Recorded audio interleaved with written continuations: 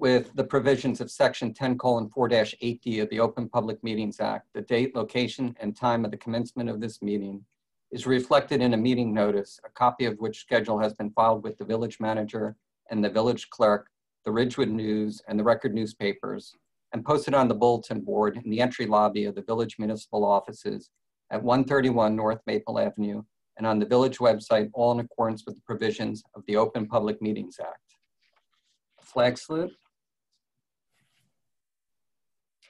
I pledge allegiance to the flag to the flag of the United the United States States of America and to the republic and to the republic for Stand. which it for which stands, it stands, one one nation, nation, under under God, God, indivisible, indivisible, with liberty Liberty and justice justice for all. Okay, roll call, Jane? Mayor Knudsen, Here. Chief Gore, Here. Councilman Reynolds, Here. Mr. Joel, Here. Ms. O'Brien, Ms. Fatiri. Here. Ms. Huban. Here. Ms. Bartow, Here. Ms. Wessner, Here. Ms. Johnson, Here. and Mr. Lubarsky. Here. Okay, welcome all. I hope everyone had a great Thanksgiving. Our first item will be public comments on topics not pending before the board. And if anyone in the public, just raise your hand and Dylan will let you in and then you can just state your name and address. I. Just give him a second. I am showing none. Okay. We'll move on to committee commission professional updates for non-agenda topics. Do we have any updates? I have nothing. Okay, seeing there's none. Uh, Jane, have we received any correspondence? I received two emails regarding the uh, um, Hopper application and notified them both of the hearing Okay, and, and the sign-in information. Okay. And could you just file them in correspondence? I did, yes. Thank, thank you, Ms. Wondergem. All right, number three on the agenda was Hawthorne Acquisition 121 LLC, 235 East Ridgewood Avenue, Block 3703, Lot 11, application for minor site plan and parking variance. This item's being carried to December 15th without further notice and without prejudice to the board. And um, Mr. Joel, uh, that is exactly correct. There's a separate and distinct uh, aspect of that subject property. A little out of order now, but it might be a good idea just to address that at this point. Sure, that's, uh, we kind of bifurcated the two elements for it. We're going to be reviewing a resolution, which is item agenda number five. And that was just for the facade renovations. And then the other aspect was the uh, minor site plan and uh, parking uh. And that will be heard as a separate application, but it's part and parcel of the, the general application overall. But it's another element, so that'll be carried to December 15th. And the resolution uh, that I put together, um, you know, speaks for itself, but the two highlights are on the west side, if there's any encroachment by the facade on the west, west side of the subject, um, that would then require a stoppage of any work and addressing a potential encroachment agreement with the village. The other um, significant issue was screening in terms of any mechanicals and the roof area. Um, And aside from that, I believe the, um, the rest of the facade portion, which is that resolution, uh, is satisfactory. Oh, Okay, I just thanks, got a Chris. question. Did, when did we get that resolution? Because I don't recall seeing it. Did any, everybody else have it? Yes, it was emailed out. Uh, Ms. Wondergem? I, yeah, I did forward it, forward it to the board when you sent it to me. Do you know which date? Um, what day did you send it? On, uh, Monday? I think it was yesterday. It was Yesterday. yesterday. That would be Monday. All day. I forget the days myself, but yes. Hang on, let me just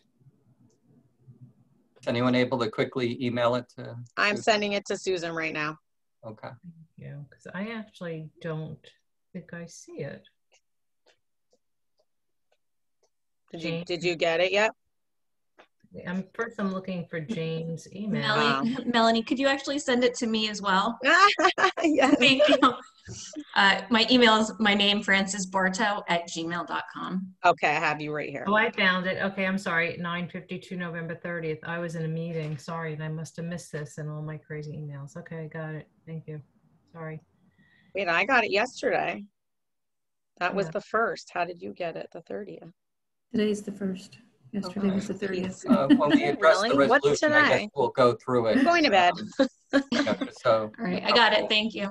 Okay. That's, the- that's the a resolution. Hang on. So that's the Hawthorne acquisition 121, right? Mhm. yes, Okay. Okay. okay. Okay. All right, we're moving on to number four on the agenda. Well, I- I'm sorry, I thought you, I think you need to vote on the resolution. So Oh, can, can we just have a second to read it? Oh, sure. Thank you. Apologies sincerely.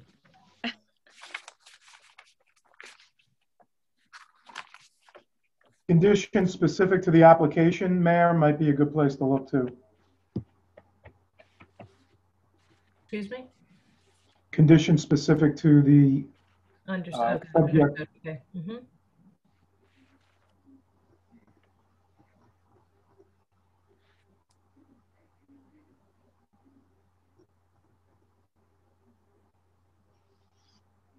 So I have a question, and I think I've asked this at a different couple of times. So when we are saying their plan detailed the encroachment, or basically their measurements would suggest there was going to be the encroachment, they, hmm. I, maybe it's my brain, I don't know, but like, how did we end up where they said they wouldn't do it, and and who's gonna stop them, or who's gonna be out there? It was only a foot, I think, or ten inches or something. yeah, it was not specifically shown that it would definitely be, Oh, but as, as you said, Melanie, it was definitely in a gray zone. okay. So the issue is, um, they do not want to suffer economic waste by ripping down a facade. So I'm sure the, um, you know, the borough officials, uh, uh, construction officials will take a look, but I think it, it's in their best interest to identify exactly if they're going to encroach or not. They needed another variance if they were going to, am I right? No, it's, it's actually called an encroachment agreement and it's not with the board review, it's, it's directly with the village. Okay. Yeah, I see that's in, that's in the resolution that they Yeah, have it's to the bottom meet there. and seek a, a, uh, an encroachment agreement. Okay, all right. I think I'm good. Okay. Okay, do we have a, a motion to Hold on. approve the resolution as written?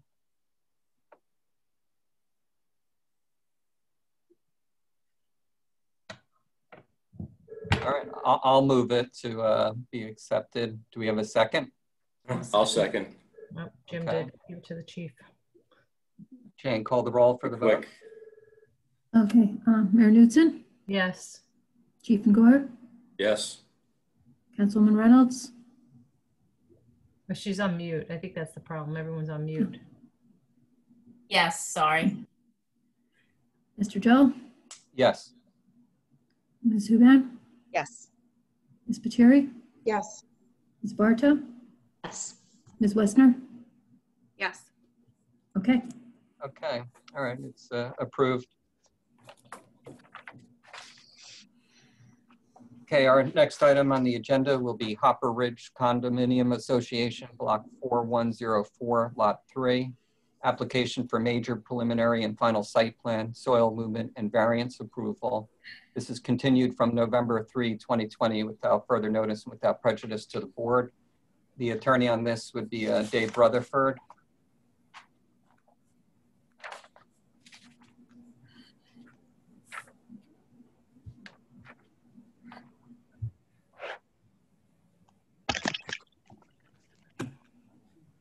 Hey, David, how are you?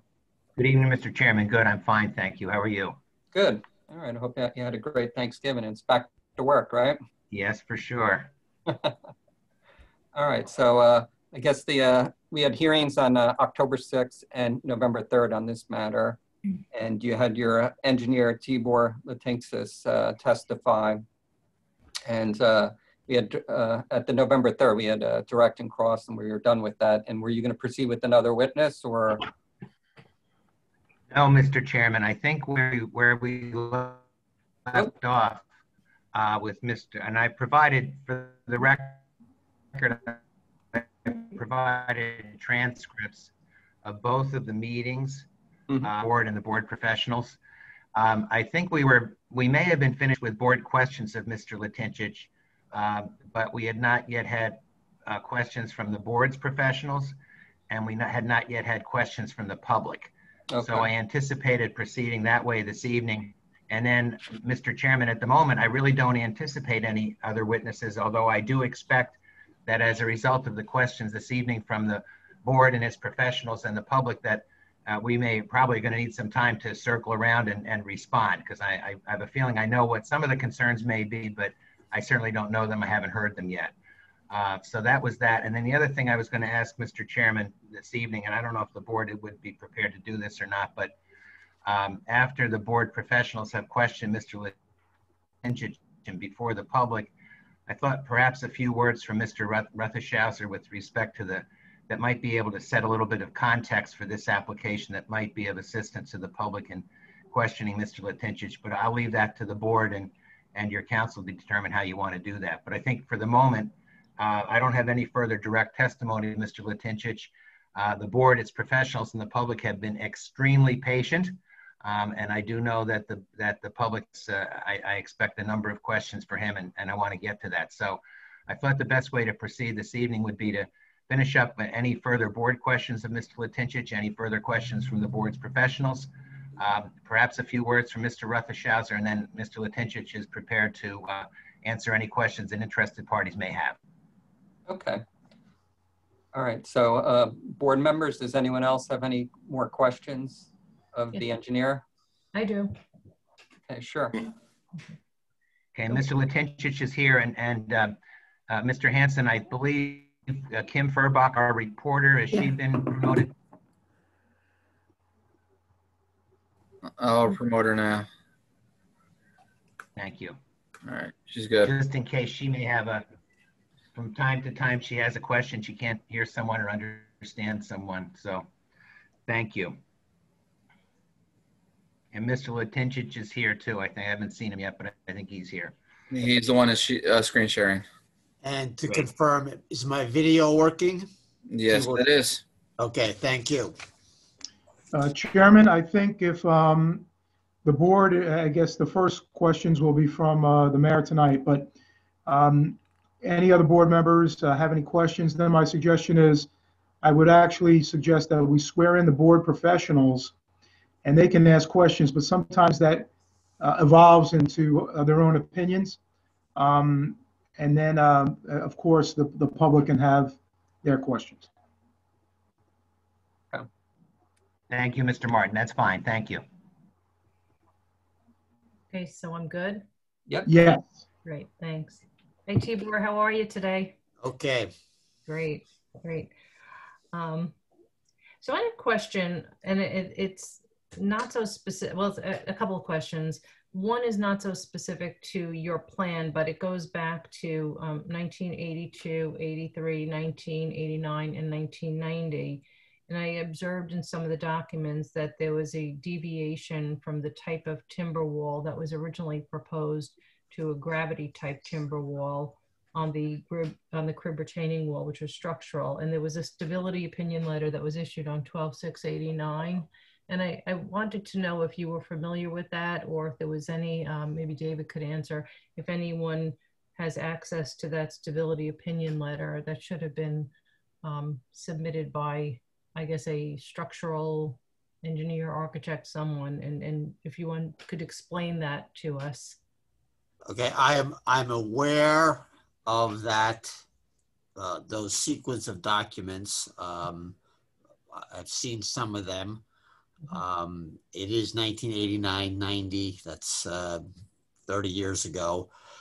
But in short, I believe this, the situation was that the original plan uh, specified railroad ties, um, which is a generic term. And when the walls were en- ultimately constructed, and railroad ties are typically six inches by eight inches. Mhm. And when the walls were ultimately constructed, landscape ties were utilized. Uh, pressure treated southern yellow pine landscape ties. Um, and if you note, um, I have referred to them as landscape ties, or I have tried to. In many cases, people use the term, the generic term railroad ties, but there's a distinction. Railroad ties being creosote treated and larger, and landscape ties is what we are all familiar with from the Home Depot and local lumber yards. So a question, uh, it appears that a question arose that due to the substitution of the smaller dimension and lighter weight landscaping ties, were the, were the walls that were constructed uh, sufficient for their intended purpose? Right. So then the question is, and I see because it says a deviation and has a gravity type timber, but there was a, a stability opinion letter that wa- was issued on, it appears to be 12689. And I'm, I'm interested in having a review of that letter if, if somebody has access to it. Okay, I do not have that at my uh, fingertips to share, and I would have to go into the file. I think we would all have to go into the file. Um, I, I think that the stability analysis was performed, and I would think clearly certificate of occupancies were issued. Uh, so I, I believe the matter was addressed, but I do not have that specific information at my fingertips. Sure. I I only, I only ask because I think it's, it's relevant to this entire conversation about what happened, how, you know, what happens now with the railroad ties. I think you, you know, we had that little back and forth about depriving oxygen deprivation and, and, and whether or not they would, you know, break apart. It so, so for, for a number of reasons, I'd like to have a access to that letter. And I think it's probably um, helpful for the board to review as well. Um, that stability opinion letter. I, I think it's important that we understand because we have a lot of information here and it's a really big project and, and obviously what appears to be a necessary project. Um, so, uh, so I think it's important that we have that. The other question that I had, um, and I don't know if you can answer it now or, or something you'll have to go back and look at, you know, a number, many of the issues that are of concern are, um, the access route into that location. And I'm just wondering, is there a temporary road that could be uh, configured that would give access to that space? Um, I haven't walked it for a while, so I don't recall um, how that might work. Uh, but I'm just wondering, have you have you reviewed that as an option, an access option, rather than coming through that um, right-of-way access point, whether or not a temporary road construction, uh, which is often done in these big projects, whether or not that's something that's doable. You clarify your that that's a question to me, Tibor speaking. Yes. Okay. The if you can clarify a temporary road from where to where. Well, a temporary access road that would allow access to the back to the to the project area, the staging area, in in rather than using the um, proposed route. Okay. And um okay, there is I wouldn't call it temporary. There's currently a roadway, and I can call up the photographs providing the access. Um, and, and it is the intent to utilize that roadway as it has been over the decades for other purposes um, on a routine basis by landscapers. When the, when the, it's my understanding, when the village previously dredged uh, the north upper pond, th- that is what it was used for. Um, you are asking, could we build a temporary road from another access point? Yes. Is there an what? What are the alternatives to that that approach? What are, the- are there any alternatives to that? Uh, yes, um, one alternative would be from the interior, uh, but if you're familiar with the topography, there's a very large topographic hump, uh, which is problematic uh, for um, loaded trucks. Um, that is an alternative. Um, certainly at the south end, an alternative from the interior access would be coming in from Hopper Avenue, which is a public right of way. Um, that would entail a temporary stream crossing of the water course, which I'm pointing at. Um, and so that is an alternative. Um, but again, that would be a, a, a, a temporary stream crossing, um, which we try to stay away from for all sorts of good reasons. Um, another access would be there is the sewer line, which I'm tracing, the trunk sewer line, um, 15 inch ACP pipe. Um, many would say that clearing and grading that would have a benefit uh, to the to the village for routine maintenance. Uh, but our our perspective is if it's utilize what is in place and what is readily available, um, which is um, coming from at the south end from Daniel Court, a circular motion ar- around um, these units, um, and the access uh, from Cedar Avenue. Um, I will add, I know you didn't ask this question, but I will add, taking the opportunity, there was a concern on uh, noise and backup beepers.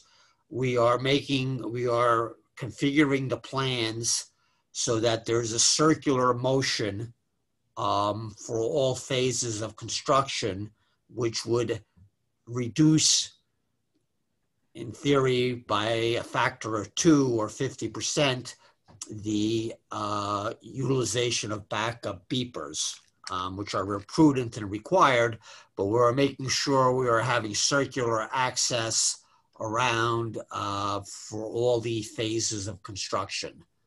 Um, but getting back to your question, yes, there's alternatives, but if there are, we are trying to work with the readily available alternatives. So, and just again, going back to now your circular to reduce the, uh, uh, they're actually called emergency reverse, whatable, what do they call the beepers? There must be a technical term for them, but I don't know. Maybe the chief knows, I don't know. Does anybody know the technical term for the backup beepers? Um, So did you, do we, have- I'm sorry? Aren't they called backup beepers? Well, If you think that's the technical term, we'll go. I don't know. Commercial warning devices, What, what is it?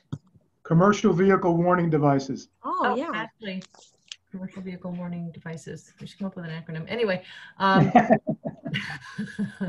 so do we have a, have you given it- that document to us? Do we have a- that proposal for the circular um, path to avoid that beeping?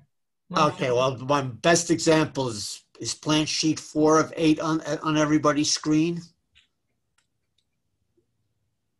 It's, it's Debbie, I just, I just shared, uh, plan sheet four of eight.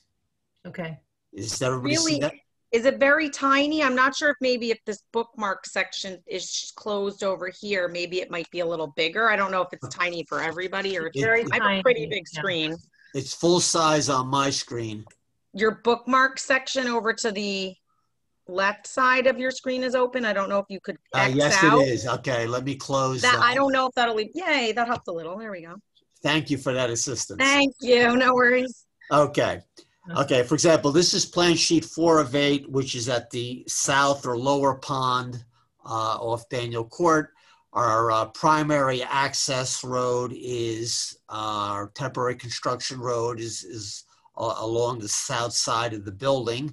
Um, And then material will come in via the south side uh, behind the wall.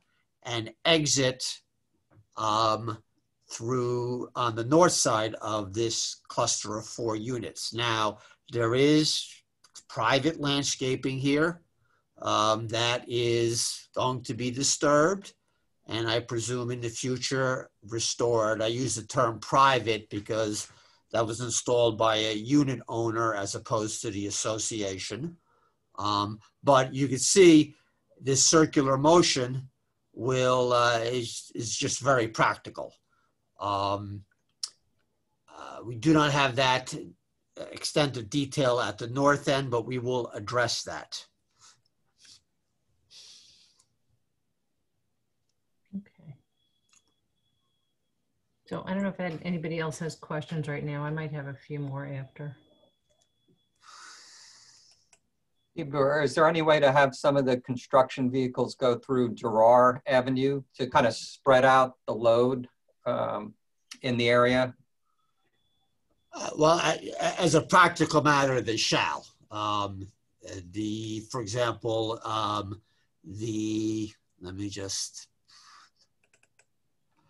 uh, certainly, for example, to, yes, the, sh- the short answer is yes. For example, at the, the south end of the site, the primary access will be via Durar, not Hopper Avenue, for example. And will that just serve that southern part or will it also be able to serve, service some of the uh, northern parts there? Yes, as as a practical matter, um, the for example, the the where the wall comes around to let me.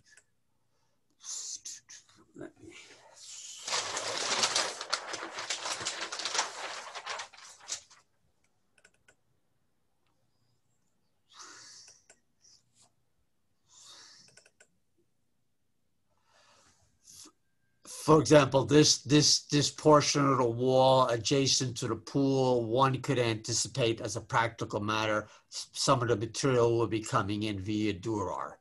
Uh, yes. Can you Um, say for a percentage, the vehicles, like, say there's 100% of the vehicles, what percentage are going to come through the Daniel Court, which through Durar, and which ones through uh, by Cedar Avenue? Can you, Okay. Um, rough okay. estimates? Again, I'm the design engineer, Hmm. not the general contractor. Okay. Um, and if we break it down, for example, the um, the southern wall is it's 17. It's basically about 30 percent of the project. So 30 percent will certainly come via Durar. Um, I would anticipate another, certainly another 10% uh, Durar. And again, the circular motion we're talking about um, in the, the middle wall is from Durar um, and in a clockwise uh, manner, exiting by the pool house at the north pond. Uh, off the access road, you have circulation all around uh, the north pond setting that culvert, and this was a question by a, um, a I believe, a resident uh, at the last meeting. Yes, the uh, replacement reinforced concrete pipe will be set early in the construction sequence at this pinch point to accommodate the circular motion about the middle wall and the north wall.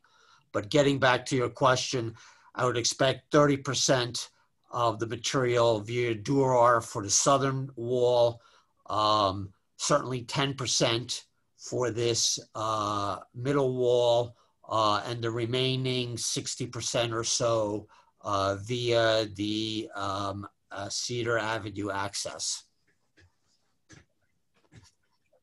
Okay.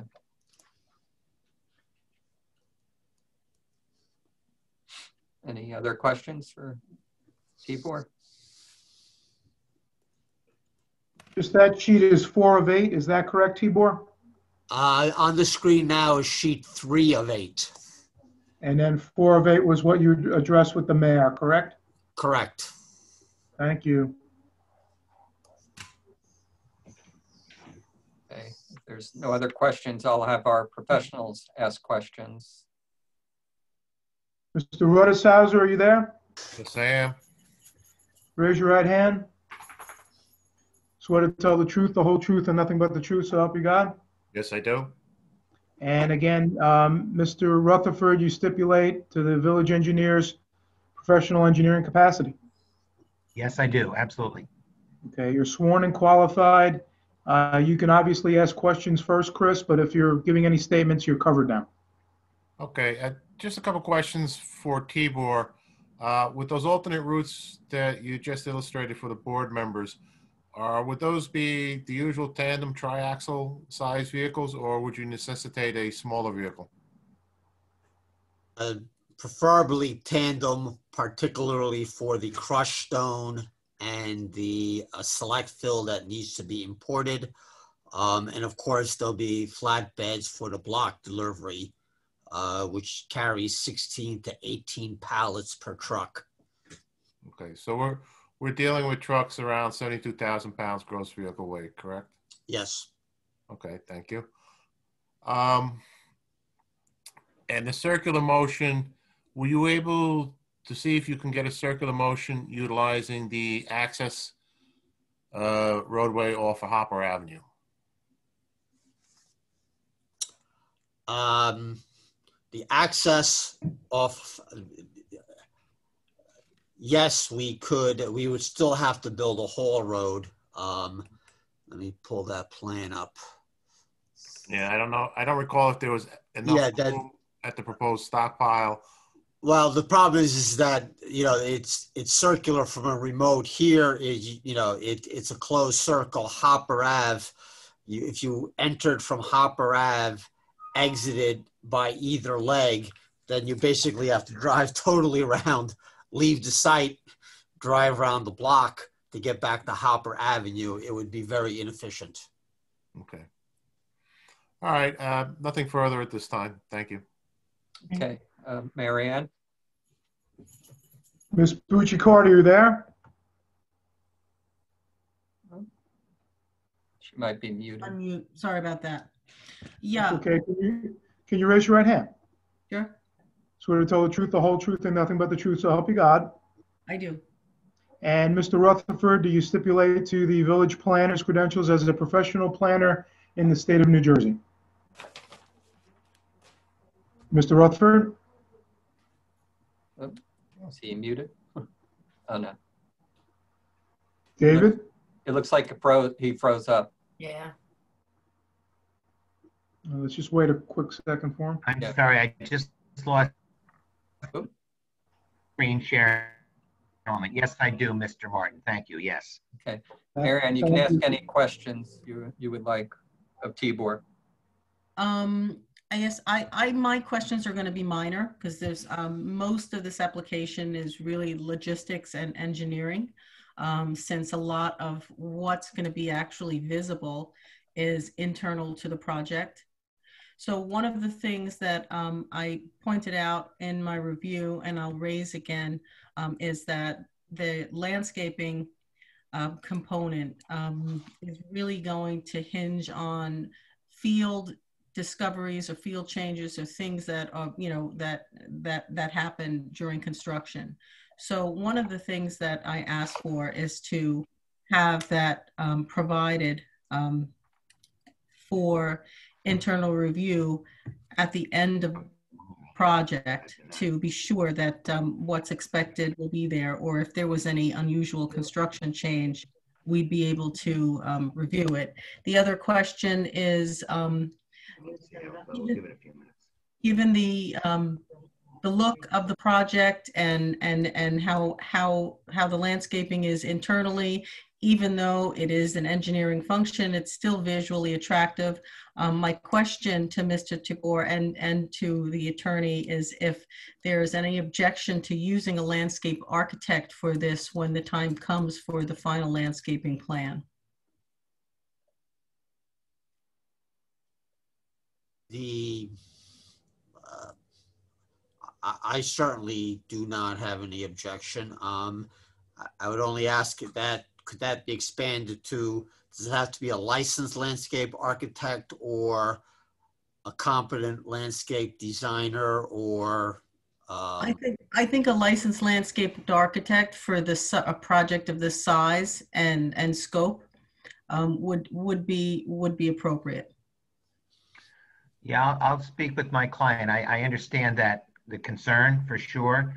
Uh, before I commit, I should probably speak with my client, but, but I understand that. We'll take that seriously. Thank you. Thank you. Okay, That's my only question. okay. So All I right, have- so I guess I have a uh, the public can ask questions now of uh, Tibor and the engineer. So uh, if anyone wants to ask questions, they could uh, raise their hand. Dylan will let them in sequentially. And you'll state your name and address, and then you direct your questions to Tibor from his testimony. This isn't public comment. It's mainly to ask him questions regarding his testimony and anything relevant towards this application. Can I just ask a question first? I'm sorry, I was trying to interject, but I guess you didn't hear me. Um, sorry about that. to- That's all right, no worries. Um, I just wanted to ask Chris a question. Um, Our, actually, engineer, Chris Rutishauser. Chris, just so uh, everyone understands, could you just describe a tandem triaxle truck so that the, everybody understands exactly what that is? Uh, a tandem, tandem and triaxles are two classes of dump trucks. They're the uh, heaviest types of dump trucks. Triaxle has a gross vehicle weight generally of 80,000 pounds. That's the chassis, the truck itself, and whatever payload it's carrying. A tandem is generally registered up to 70 or 72,000 pounds. Uh, a tandem is two rear axles, one front axle. Triaxle has three rear axles, one front axle. Uh, the triaxle usually has a third. The third axle usually can be raised and lowered depending on if the truck is carrying a load or not. Um, when the third axle is down on the triaxle, their turning radius is very much constrained. Uh, they need a much larger turning radius to make maneuvers, so forth. And that weight is with, with the load on top of it, whatever the load may be. And, um, I forgot what I was gonna ask. Never mind. Thank you. That is, you are correct. It is complete. The 88,000 and 70, 72,000 is tr- truck. It's the full truck, chassis, body, engine, whatever, plus whatever load it is transporting. Presumably, these are, are they're gonna be doing, I, I'm guessing that what we're carrying in and out of here is relatively heavy. So it, is it likely that it would be more truck trips because it's heavier weight per load? Or is this something that with the, that size truck, they should be able to get away with less trips Uh, with this amount of material? Those, those trucks are the most efficient ones for transporting the material. The drivers have to be careful to make sure that they are not overloaded because um, an overloaded ticket is very expensive. Um, and there are scales out, portable scales. Law enforcement uses them periodically to make sure such truckers are running legal. And then just again on that turning radius, so in your, you're comfortable that if there were, there's no issue with any of that on the turning radius? That's why I asked uh, uh, Tibor earlier this evening if he felt that he might need a smaller truck because uh, the turning radius might be tight. Uh, Right. But he feels he can use the tandems, maybe triaxles, get the maximum amount of load out on each cycle trip. So, but is that something that we should establish before? Because on a maximum load on a, if the, if the turning radius is appropriate and it works, then we have less loads going in and out. But if it turns out that that's not, doesn't work and, and that there's not enough space there, then that means there are more trucks with more loads going in and out. Because that means we have to revert to the smaller vehicle, correct? Um, again, if the turning radius doesn't work, and also it depends on the contractor. The contractor may elect, uh, he may only have a certain size truck in his uh, fleet. He may not have the largest capacity trucks. You may use a smaller one. You may use a single axle. Again, that's usually called means and methods for the contractor. Uh, but to your point, you are correct. That would run in, would result in more actual number of loads in and out, but of smaller vehicles. So uh, what I'm asking then is, notwithstanding the, the contractor, whatever vehicles they have accessible, wouldn't it be important to establish that the, um, that radius, there's enough sufficient space there for that turning radius in the event that, because that would be really the most efficient and least burdensome to the neighbors as this project moved forward, because that's just less trucks. It's just a more efficient process. So before moving forward, wouldn't it be like important to establish that? That the space is there and that the turning radius is, is doable? Uh, that would be up to uh, the applicant's engineer to confirm. Yeah, no, I'm, I'm asking, don't you, but I mean, I guess I'm, it's a kind of, I guess a rhetorical question. So I guess I would be interested in, in knowing, having that information and seeing that as a diagram to understand that that's, that works. That, that the largest truck, because that, that shortens the duration of the project. It's, it's less impact to the neighborhood. It's less trips. It's, it's just more efficient. Uh, Let me, let me jump in here, T- uh, Tibor speaking. Uh, Again, give a practical, there is no problem maneuvering large trucks on this site. This site was set up for access by fire trucks.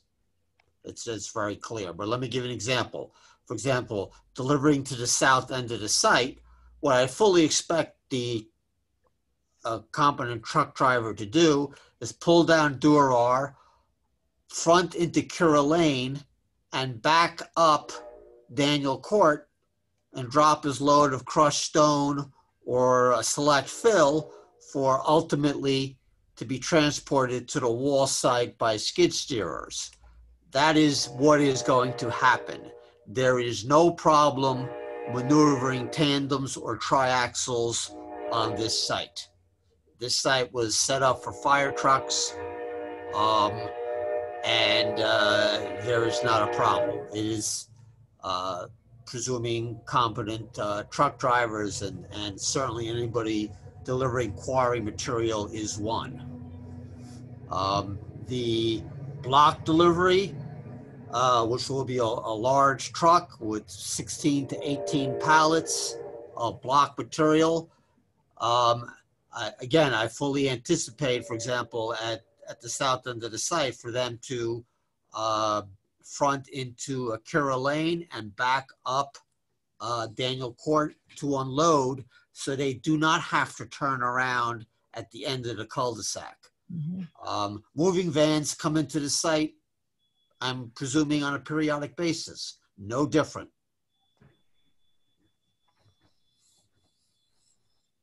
Okay.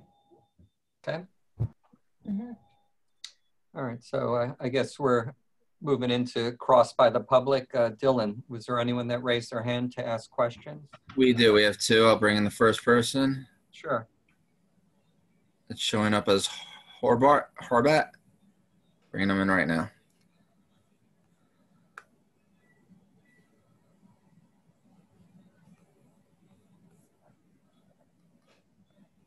All right, he's currently muted. And his video's off. Hey, can you hear me now? Yeah, we can hear you. Hey, we're the owners of 388 Cedar Avenue, uh, which includes the vacated paper street that is no longer a street and no longer meant to be accessed other than for absolute emergency purposes. Even the fire chief said he would not put an 80,000 pound fire engine down that lane, okay? Um, Mr. Horvath, can you just give us your first name? I got everything else. Robert and Eleanor Horvat. Okay, we could, uh, we gotta take one at a time. So Robert, go ahead. I'm sorry, go ahead. Okay. The, the deed, there's a deed of easement that was prepared by the Village of Ridgewood that specifically states that it would be used for maintenance and repair in the event of an emergency. And it further says that no nuisance shall be created by any act that will be detrimental to the said land or to any property adjoining the land. Furthermore, you're talking 60% of 325 loads of just stone, plus all the other materials that would have to come through, that they're trying to say should come through that access off Cedar Avenue. Uh, Robert, you got to frame your, uh, as a question to the engineer. You might want to just say, are you aware of the easement? And have him answer your question. There will be a public comment uh, part of the presentation where you can make public comment, but just frame your, uh, your statements as questions to the engineer. Could you spell your name, please, Mr. Horvath? Robert, Spell your last name. H-O-R, B like in boy, A-T-T. Thank you. Could we just quickly let the public know for people that are new to the meeting, just how this works, not to post questions in the Q and A, maybe just quick uh, mention? I know we've done it a million times, but maybe just Okay. quickly. Uh, All questioning will be done when you're let in to present your questions to the engineer. You shouldn't be posting any questions on the chat or anything like that. It won't be responded to. No, that, that's not part of the hearing record. So whatever is testified to here through the uh, video and audio will be part of the record. So if you have any questions, you raise your hand and eventually Dylan will let you in and then you'll be able to present your questions. And in this case, Tibor Latinxis is the uh, witness and that's who you're gonna ask questions of. And you ask questions that are relevant to what his testimony was. So, uh, Robert, you had certain statements, and they can be framed in the questions, asking them and getting at, you know, the information that you want. Okay, Yeah, let me just emphasize, the question and answer section of the Zoom proceeding will not be addressed. So any questions in there uh, will not be responded to. Uh, It has to be done when you're admitted either uh, by phone or by Zoom connection. Go ahead, Robert.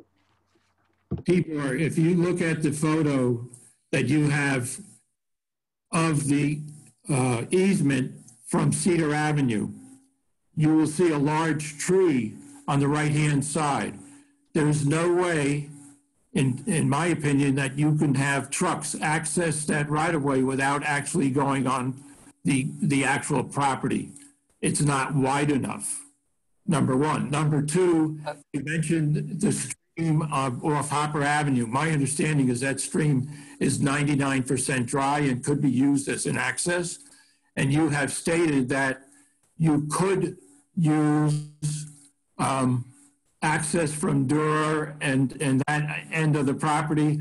You're going to have 12-foot wide space between the old wall and the new wall, which gives you plenty of room to run trucks. Now, it might be a little more expensive, but why should all the neighborhood have to be, have problems when you could access everything through uh, Hopper and. And the sewer line. And the other problem is the sewer line. There's a lot of concern about that sewer line.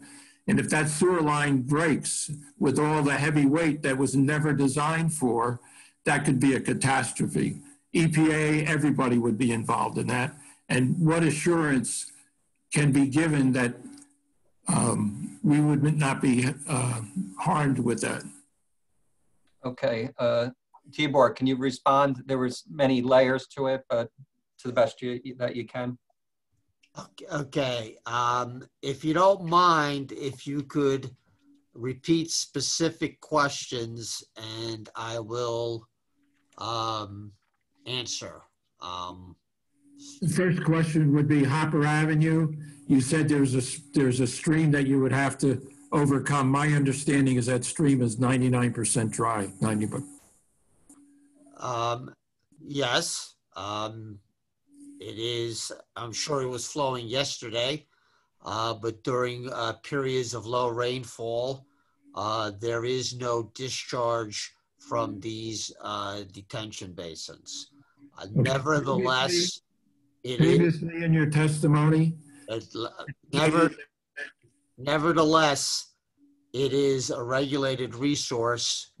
So if one was to cross it, no question, a temporary culvert would be required um, with the attendant DEP uh, permits. Did I, did I answer your question? Yeah, thank you. In your previous testimony, uh, a couple of meetings ago, you had indicated that it would be possible to do this project through the Hopper community. It would be more expensive, but it could be done. Uh, yes. Um, And that would be, be done without using the access from Cedar Avenue.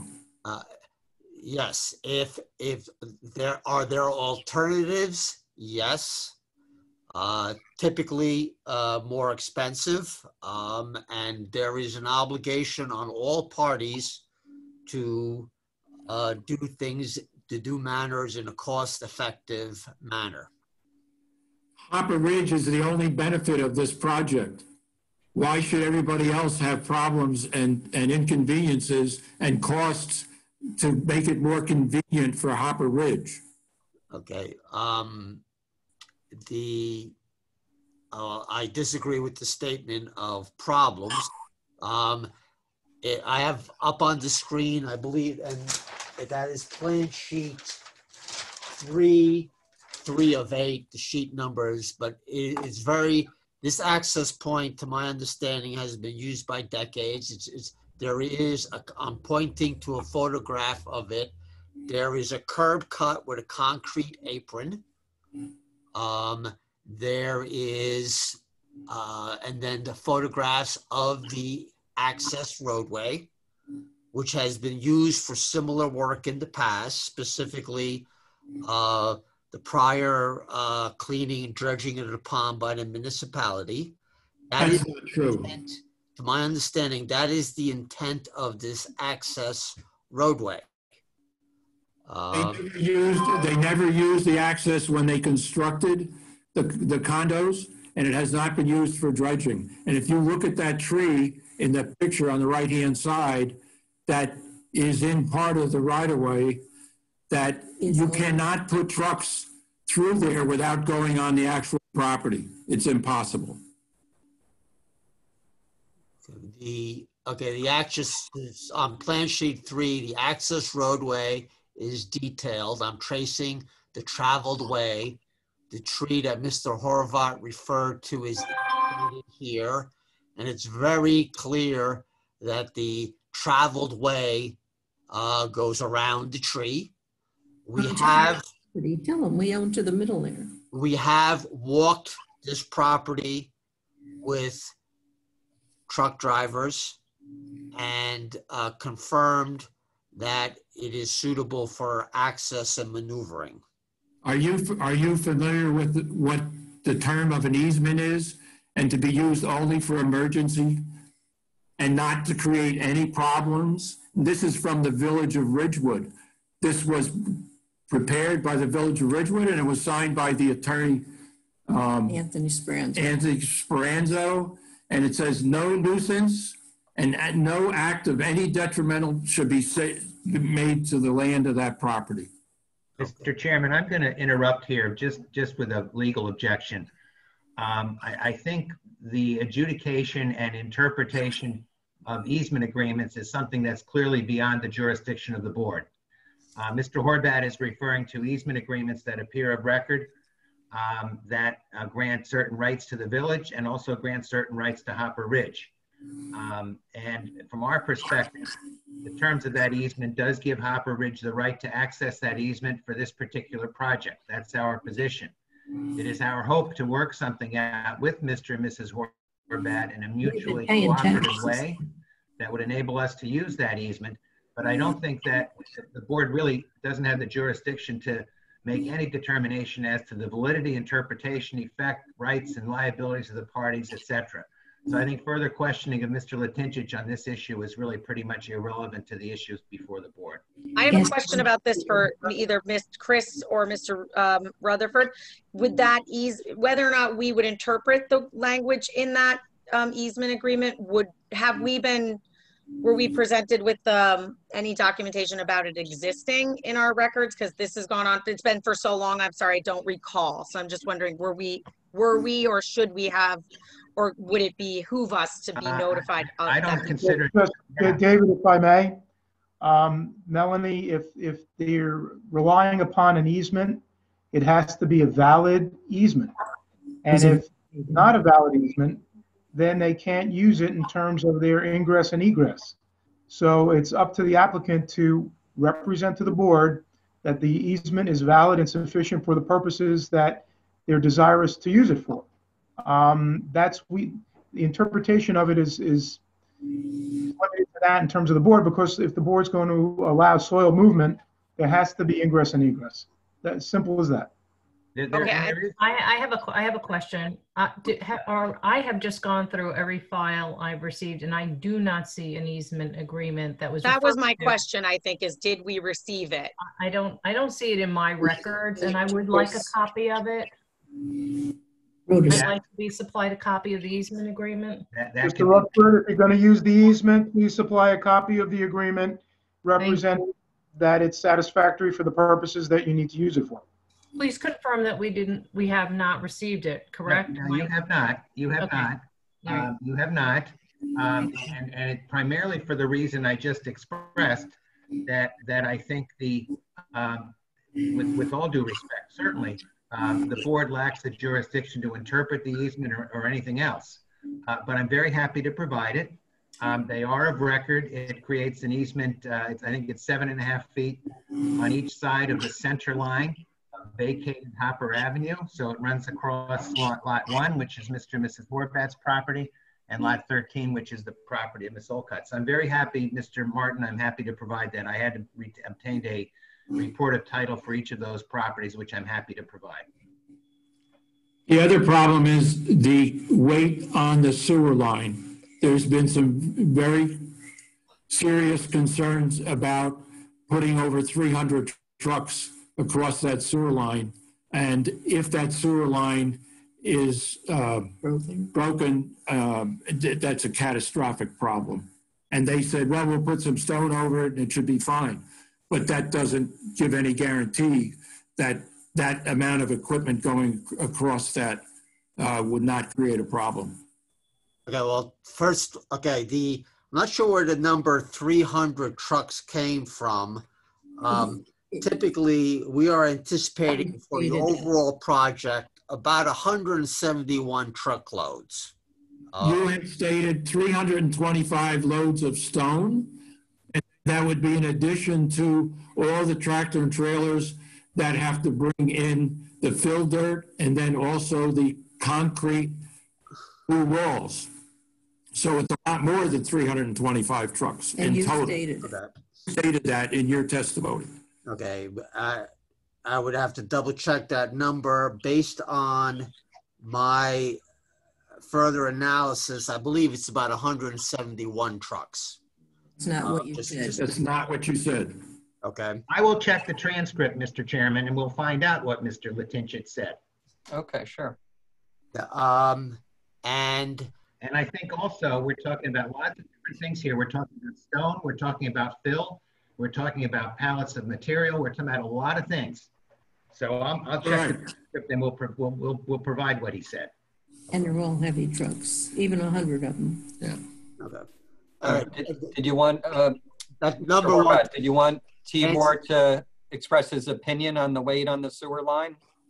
uh, uh, uh, the required cover on uh, piping, be it sewer, storm sewers, etc., is typically a minimum of two feet, which is provided um, in this case. Um, that being said, if the sewer line was damaged inadvertently, that would be Hopper Ridge's uh, obligation to uh, repair it. The sewer line is actually not under the access road for half the distance, um, referring this the this is the access roadway uh, shaded in gray. The sanitary sewer actually comes at in a peculiar route uh, to this first manhole, and then it is under the access uh, uh, roadway. Just to be clear. Um, but the uh, sewer line, which was under the former Hopper Avenue, uh, was designed for a public roadway. Now, Hopper Ave ultimately was not constructed as a through road, uh, but it has more than two feet of cover, which is uh, the minimum required for proper protection of piping. But it wasn't. But Hopper Avenue wasn't designed to be a through street with, with 80,000 pound trucks going back and forth all day. I, I would like the village engineer who has mentioned some concerns about the sewer line. I'd like his comments about that. Um, the cover on the sewer line, as uh, Tibor said, is two feet. That is usually adequate. Given the loads proposed to be over it, we will be monitoring it carefully. Um, if that line was in the street, the streets would be designed for holding 72 to 80,000 pound vehicle weight. Uh, fire truck weighs close to that much. Uh, moving vans and other trucks that service our residents have weights in that range all the time. But not 300 trucks going through a street like that at, at any given time. I mean, that's uh, completely uh, beyond what the normal scope of a moving van or a, even a fire truck going through there on occasion, not 300 trucks coming through. Mr. Chairman, I to object to the continuing reference to 300 trucks. Mr. T, I'm not sure that's what Mr. Latinsha said, number one. Number two, he revised it this evening. And number three, he indicated that the truckload is spread around three different entry points. So, just for the record, uh, that's just Okay. my comment on the record. Okay. All right. Chris, did you have anything else to add on that? Uh, the kind of truckloads, the, the truck quantities being discussed are commonly seen in the village. Our police department does a lot of traffic data counting, and the vehicle counts they get on a lot of our roads, unless you're familiar with it, can be astonishing. But it's spread out over a period of time. The trucks that are coming in here are not going to be all at once. They'll be a couple of couple an hour. They have to get loaded. They have to unload. Not going to. And that's something that we can also put into the uh, major soil permit. We can put language in it that says no more than one or two trucks can be waiting to be unloaded in this particular area, given the residential neighborhood. I'd like to ask the, the uh, fire chief if he would bring a truck down a dirt road like that, 80,000 pound fire truck. The questions are to Tibor. The board member doesn't uh, have to address the question. Don't address that? Uh, The questions are, this is not the comment section. This is questions of a witness. You're not the witness. Mr. Van Gore, I'm directing you not to answer that. Okay, Tibor, I would just like to summarize. You had indicated that this project could be done without using the, the easement of Cedar Avenue. It might be a little more expensive, and the only benefit is the people of Hopper Ridge, not all the neighbors and everybody else who would be inconvenienced and potential problems from it. So if it costs a little more, but you could do it that way, you indicated it could be done. Okay. Yes, the answer would have to be yes, there are alternatives. It is uh, not a, a small increase in expense. And there are benefits to the community with the, the greater community with this, not just Hopper Ridge is benefiting from this project. These walls are integral detention basins. For example, if we could fill these detention basins and have graded slopes, the walls would not be required. These detention basins provide stormwater management benefits and water quality benefits to the village of Ridgewood and the Hohokus Brook watershed, which is integral to the town's master plan and stormwater management plan. So it is not just Hopper Ridge that is benefiting from this project, to be clear. There is 60, approximately 62 acres draining to these detention basins. Hopper Ridge in its entirety is only 10.3 acres. So these detention basins provide a benefit to the greater community. Any further questions, Robert? The fact still remains there's a potential problem. Our property is lower than the sewer line. If the sewer line breaks, it's going to go right into our property. Okay? And again, it, the, the project could be done without using that. You stated that. Okay. My concern is not your cost. My concern is the safety and uh, not being, having the problems with, with. The uh, sewer line area. Okay. All right. Does that finish your questions, Robert? Thank you. Thank you. We'll, we will submit in writing at the appropriate time and when it's a time for public comments. Okay. Uh, you don't submit in writing. You give uh, testimony if you're going to give public testimony or public comments uh, on the uh, the hearing date. It's fine. Thank you very much. Okay. Thank you, Robert. Okay. Is there another person from the public to ask questions? Yes, we do. Hold on one second. I'm bringing them in. All right. Next person is Thomas Olsen. I'm bringing him in right now.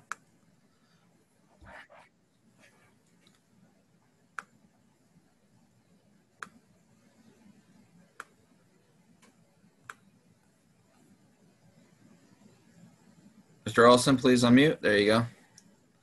Hi, Uh, spell your name, please. Thomas, T H O M A S, Olsen, O L S E N, Thank you. Okay. Your address, please. 380 Cedar Avenue. Okay. I'm uh, just on the other side of the Alcott's. They're on, they're on the other side of the easement from um, uh, Mr. Hobart. Okay. You can ask questions of uh, Tibor Latincsics. Okay. My questions go. Okay. Um, I have a feeling some of my questions aren't can't not be answered. Probably better questions for the general contractor. Uh, will there be heavy equipment or trucks parked or stored on Cedar Avenue either during the day or perhaps even overnight? There will be no parking um, overnight, certainly, or, or long-term parking on Cedar Avenue. That being said, if a truck has to wait to make the turn into the access road, they'll, they'll be there for a short period of time, but there'll be no storage on Cedar Avenue. Okay. Uh, the construction crews will they will any of them be parking on Cedar Avenue? Their personal cars. No. Okay. Uh, Cedar Avenue was just paved last summer. Do you anticipate any damage from these X number of 80,000 pound trucks driving over it? I, based on what the the town engineer said, it seems like the roads are capable of handling that. But again, this is a you know quite a few trucks. We're in disagreement on to the number, but I also do remember you saying in the neighborhood of 325 truckloads, just for the record. Um, Okay. So what does that So go? the- These are, these are roadway legal trucks. Um, as a matter of fact, they're weighed before they leave the quarry. Um, and, uh, it's normal and customary truck traffic. Okay.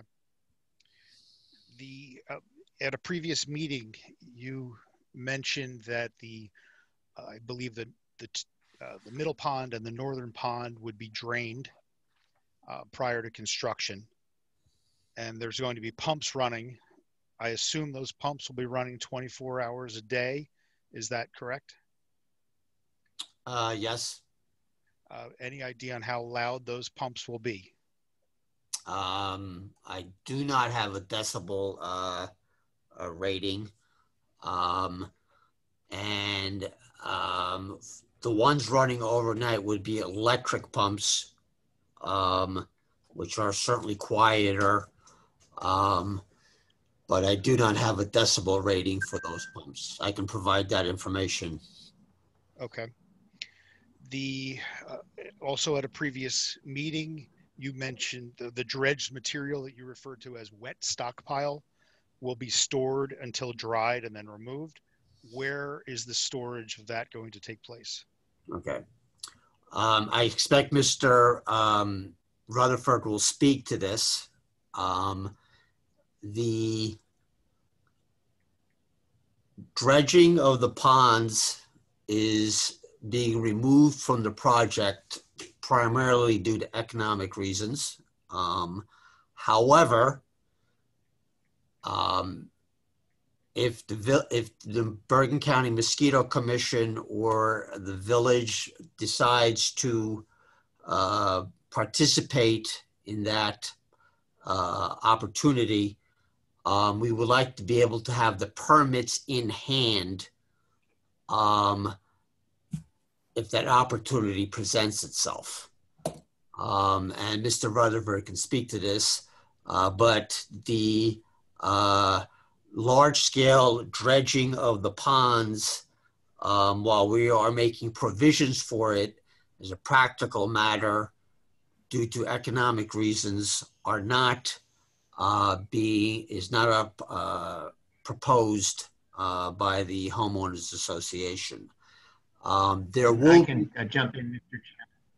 Chairman. and there Yeah, will be some li- there will be some limited stripping of the uh, pond muck, for lack of a better term, in the area of the wall construction. Um, a much smaller quantity, and um, as a practical matter, uh, that will be stockpiled in the primary stockpile area in the uh, south, um, the southeast corner of the site, as where I'm indicated. Um, that'll be dried out, and the intent is to use that on site for landscaping, uh, for restoration purposes. For example, if you're familiar with the site, this bank um, to the east of the pool area is eroded and is poor condition. An ideal place to put that excess excess soil. The stockpile area will be need to be restored uh, after construction is complete, and the plan is to utilize that soil uh, on site. Um, it needs to be dried and screened to some extent, um, and we are proposing in the stockpile area. Okay. Uh, now you mentioned that they've they're no longer going to be dredging out that north pond. Uh, something that I I'm not sure if this is a question, but something you may not be aware of. Based on the slide that you have up right now, sheet two, uh, if, if you look at those just to the north of the north pond, there's a small uh, wooded strip. There's uh, you know, exactly right there, right where you had it that entire strip right there those i'm just going to say those three trees the pre- predominantly three trees right there that you have marked and significantly into alcott's backyard and into my backyard the north pond actually extends well into our properties with every rain every major rainstorm uh, yesterday's rain i would say that that wooded section probably had two feet of water uh, that happens with every major rainstorm um, most of the time, it's gone in two to three hours. I believe uh, one of the recent hurricanes, it was there for three or four days. Um, just so I'm actually rather disappointed to hear that you're no longer going to be dredging that pond. I was hoping it would re- alleviate that because that flooding has has gotten worse over the 22 years that I have uh, lived here. Okay, well, let me let me answer your question here. And very familiar with that situation. As a matter of fact, I asked. Uh, that was significant rainfall we had yesterday. Yes, yes, it was. and I've not had a chance to look up the, the total rainfall, but certainly is significant. And I, in fact, I asked the association if they could uh, run out and take some photographs, uh, but I'm familiar with that circumstance. Um, and one of the reasons is looking at the, the Alcott and backyard and, and yours. This was I'm tracing the the location of the original stream. That is that blue line. Um, I'm tracing with my uh, cursor. Um, and when the Alcott's um, home, I'm presuming when it, when it was constructed, the stream was relocated to what was then the Hopper Ave right of way. They filled the, the, the front portion of the property, um, but they did not um, fill the entire area. And then uh, I I'm now pointing at the original site plan for Hopper Ridge, and it shows topography in that area.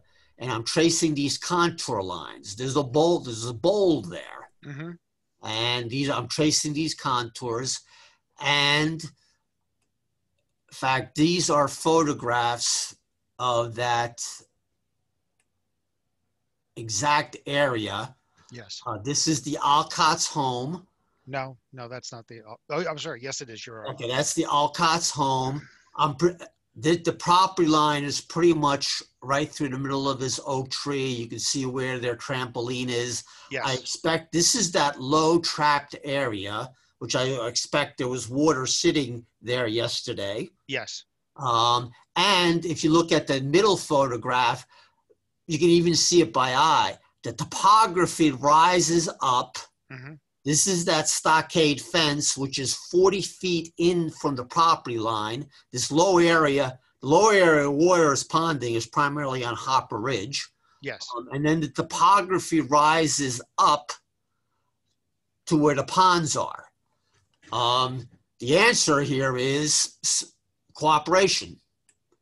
Um, really, what people, what the Alcotts should do is, or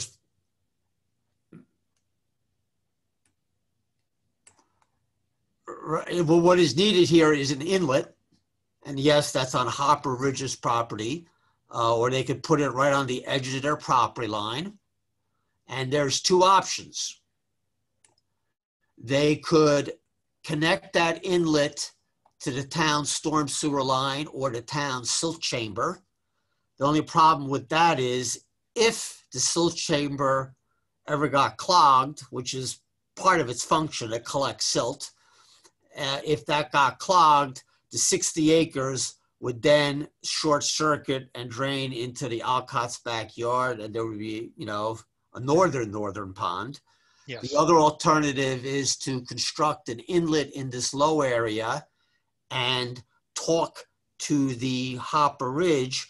Would they grant an easement uh, to connect to this pond? Mhm. Uh, yet another easement, and and this this what I'm indicates this whole corner is everybody's has a common interest here. Everybody's joined at the hip due to the natural topography and access. So from an engineering perspective, everybody should work together. Mhm. Okay, that's all I have. Thank you. Okay, thank you, Mr. Olsen. Um, Is there anyone else from the public that would like to ask questions? Please raise their hand and Dylan will let you in.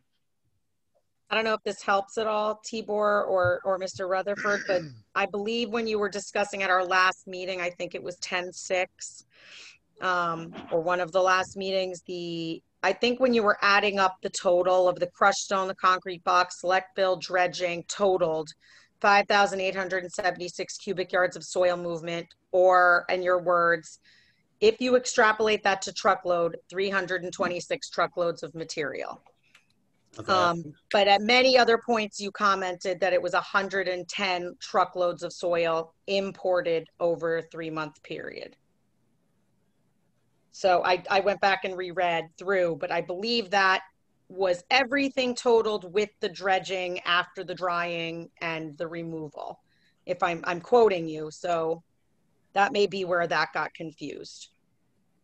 Okay, well, since, and since that time, um, we'll double check some numbers, scrutinized matters. Um, presuming full truckloads of block, there would be 11 truckloads of concrete block. Um, there would be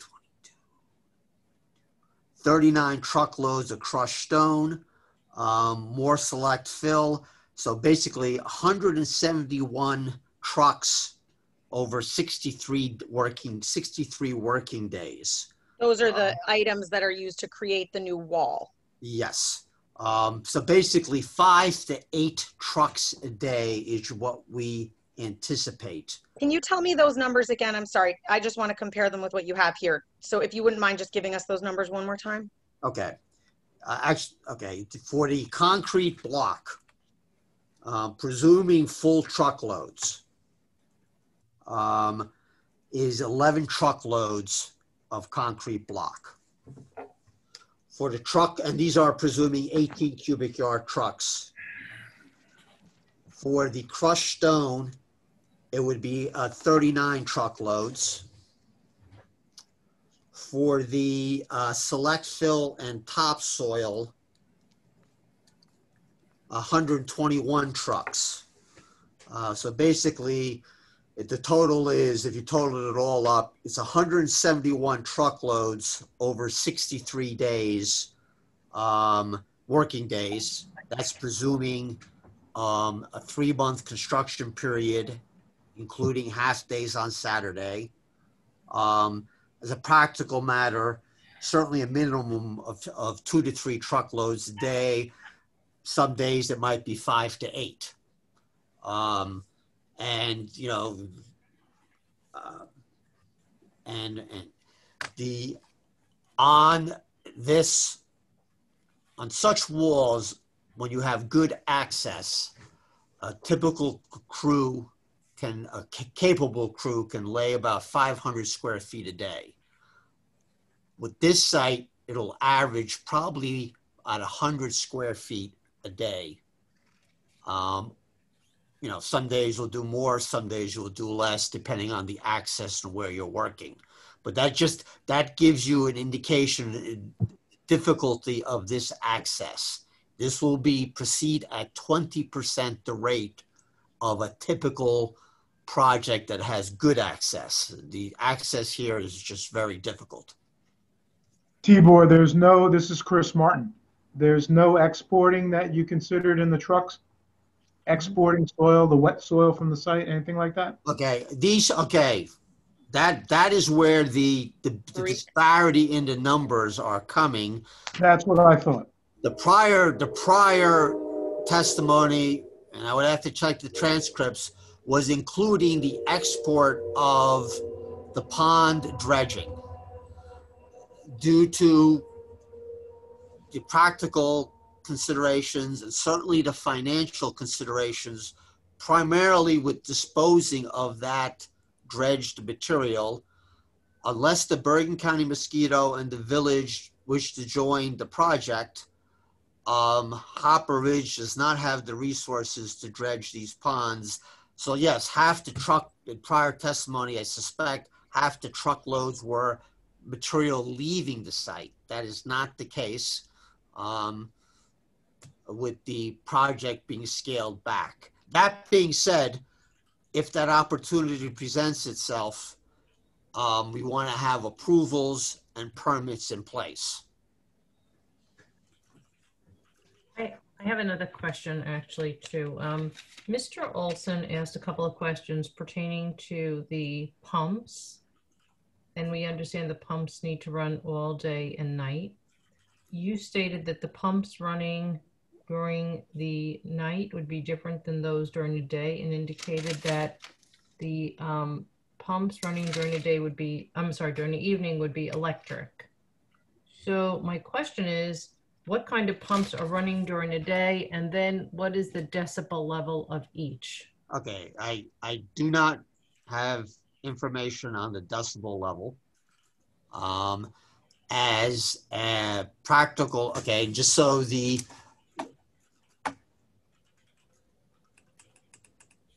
let me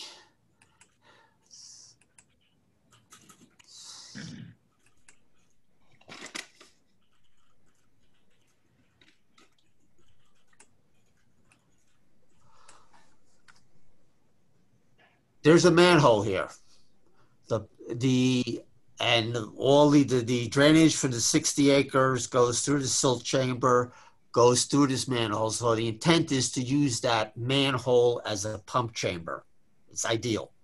So these the pumps running um, for overnight is going to be underground in that manhole chamber. I, I don't think it's it's going to be barely audible, but we will investigate that. Um, that being said, um, it, in the morning, if the water level needs to be lowered, the the contractor may fire up a, a larger pump, uh, probably driven off a generator, and there'll be the normal and customary uh, noise from from that work. Um, So it's then- loud. It's loud. A generator running on the street to, to run pumps of that nature, that would be relatively loud, but it, you're saying at least it would be during the day. Correct. And this is it. It's going to be a normal construction site. If, if a neighbor was framing a house and the framer was working off a generator, it's going to be no different. Okay, so Tibor, just let me ask a couple more questions. So the generator that's running during the day, how long would that generator run? For how many hours in the day and how many days? Okay. Well, there's, you know, the, there's many variables here.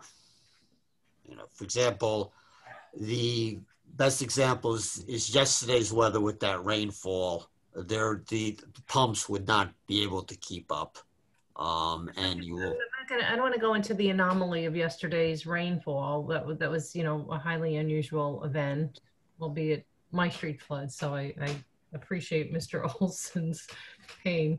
Um, but just on a regular day, how, how from, let's just say from eight eight, how many hours a day does the generator run? Because I have to tell you that, that a normal and customary construction site doesn't have a generator running all day. Overnight. All day. Well, it doesn't have a generator running all day. So I'm interested in knowing how long all day and then what is the typical decibel level of that of a generator? I, I do not have that information available. Um, the, the plan is to lower these ponds well in advance of the construction and keep that water level down with the small electric pumps. Um, I think we need to have a level of specificity with the best and worst case scenarios. I, I think that in fairness to the folks, because this is, it's not a typical construction site. It's not, it's, it's not, it's a highly unusual project. I think we would all agree with that. Um, and so I, I think that in fairness to the folks, we need to have a, some, some specificity to that um, generator operating and pump operating and, and you know presumably a generator is operating and that has noise and then the pump has noise. I don't know actually. Um, so if we can get some some more details on that it would be helpful. And then i also just wanted to go back to a, a comment you made during mr olsen's um, questions. You stated that the number of trucks was normal and customary truck traffic. Do you believe that that's, I'm- and I'm just asking because that statement kind of, I, I wrote it down because it was so, such an odd statement. Do you believe that that, that what's being proposed here is normal and customary truck traffic? Absolutely. We, we prepare soil movement applications on a routine basis in the office, appear before multiple towns. A typical single-family home construction in Bergen County certainly moves 2,000 cubic yards of soil. And how many trucks would that be? Um, if it, again, presuming 18, that's 111 trucks. That is normal and customary. It goes on every day in Bergen County. Okay. Uh, just to piggyback on Susan, is there any kind of noise mitigation that could be done for generators? I, you indicated that the one pumps would be in the, uh, the sewer there, but is there any kind of enclosure that they have for uh, generator type pumps? Um, the well, the generator gives off fumes, so you try not to enclose it. Um, but uh, uh, that can be investigated at, and positioning the generator at a certain point in time. You don't want your extension cord to be too long uh, because of the drop in power. Uh, but that can be investigated. Uh, dare I say, something as simple as putting it inside the silt chamber. which is also below grade. Okay. Are there any people from the public that want to ask questions of the engineer? Yes, I have two more. Uh, next one is Roman. Bringing him in. Yep.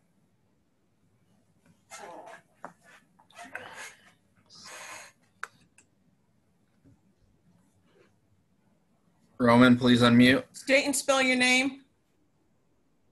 He didn't unmute yet. Hold on.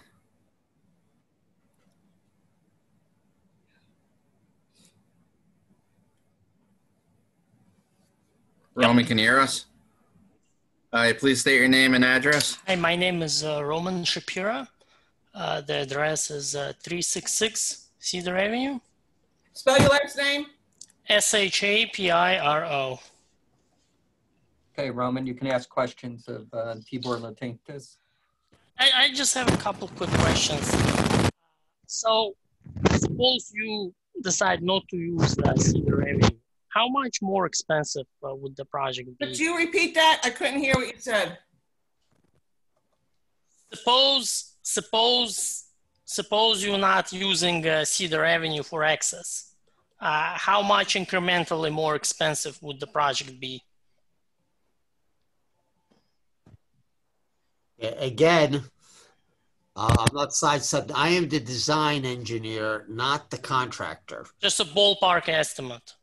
Um, uh, I would say about $150,000. Okay. And how many units are in uh, Hopper Ridge? Uh, I believe it's uh, 32. I think it's 36, Mr. Chairman. 36 uh, Okay. units and about 100 residents of the village of Ridgewood live at Hopper Ridge. Okay. Okay. And uh, can, can you, again, a lot of numbers were uh, uh, stated about the trucks. In terms of just uh, Cedar Avenue, how many trucks, uh, in your estimation, will go through on a working day? When, okay, the, certainly a minimum of three. Uh, but I would, as much as five to eight as a practical matter. If, if once, um, uh, production picks up. And this is just Cedar specific. Well, it, it again, it depends on the um, how the how the project is sequenced. Uh, but for example, if they're working just at the North Pond, um, for example, if if you're laying hundred square feet of block a day, um, ultimately that's 44 cubic yards of material, be it block, crushed stone, or soil, which is two and a half trucks realistically three trucks. Um, but there's going to be other material coming and going.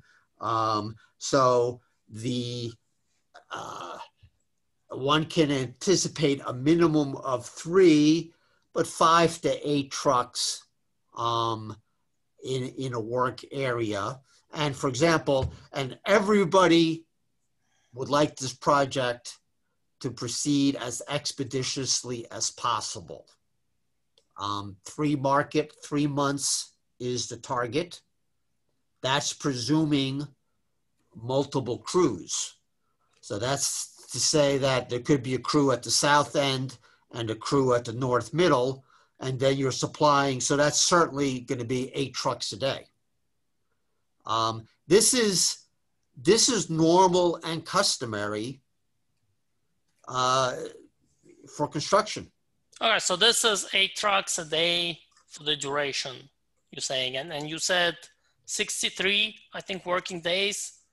So that's already like 500. I mean, am I uh, is is my math completely off? No, no, it's it's going to vary. Some days it's going to be two trucks. Uh, so so so like Uh, the, the- average, we're talking like three or four. So four trucks a day. Yeah, but that doesn't. But but if there's two crews working, which would be to everybody's benefit because the overall project is going to go quicker, there's going to be trucks supplying the south end and trucks supplying the north end. Okay, So it's going to be certainly a minimum of three trucks a day, but there certainly should be provisions for more than that. Five to eight is reasonable. For example, you your most productive is the first three hours of the day. You want your crushed stone that you're going to be using on Tuesday morning delivered to the end of Brewer Ave, or excuse me, the end of Daniel Court at 4:30 on um, Monday afternoon.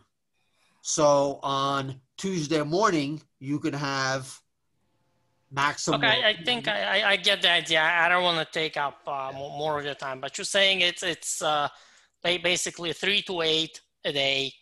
Uh, so so would, would it be fair to say that the average would be five five Yes. a day? Yes. You know, more on certain days, more or less on on you know less on other days. Uh, so five a day. You said 63 hours, uh, 63 days. So looking at 300 trucks basically overall. Again, I, again, it is, it's gonna vary. It It's gonna be, it's hundred and seventy-one trucks, presuming fully loaded trucks, um, for the, uh, material. Okay. Okay.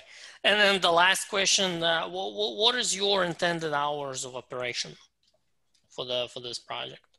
Well, what are you proposing in terms of the hours? Okay, I, I, and then I- I defer to Chris. The ordinance, I believe it's, uh, seven to f- five? Yes. And I Th- believe a half day Saturday. No- Normal, normal working hours. I didn't hear what David said. I'm sorry. I believe it's also a half a day on Saturday. I think it's nine AM or nine thirty AM on Saturdays till one. Right. That's correct. I believe you're correct, yes. I thought on weekdays it's seven thirty, not seven I think it's o'clock. seven thirty. And may I ask, uh, and, and I guess this is for the planning board as well, does, does the board have any control over it? Or if, if, if it's, or it just, it just goes by ordinance? Well, the answer is they have to file the ordinance, so the board would require them to file the ordinance. If there's an exception to be made and the applicant would stipulate to it, the board can make some suggestions in that regard. When you say suggestions, you mean more hours or less hours? No, we don't mean 5 AM, I would imagine, so I would, I would say the board might make some other suggestions as to the beginning time. Okay. Okay, thank you. I have nothing further. Thank you. Okay, thank you, Roman. Is there anyone else from the public that wants to ask questions? Yes, I have one more. Uh, let me get Roman back into an attendee, and then I'll bring in the last one. Uh, Kimberly Lock Wong. I'm promoting her right now.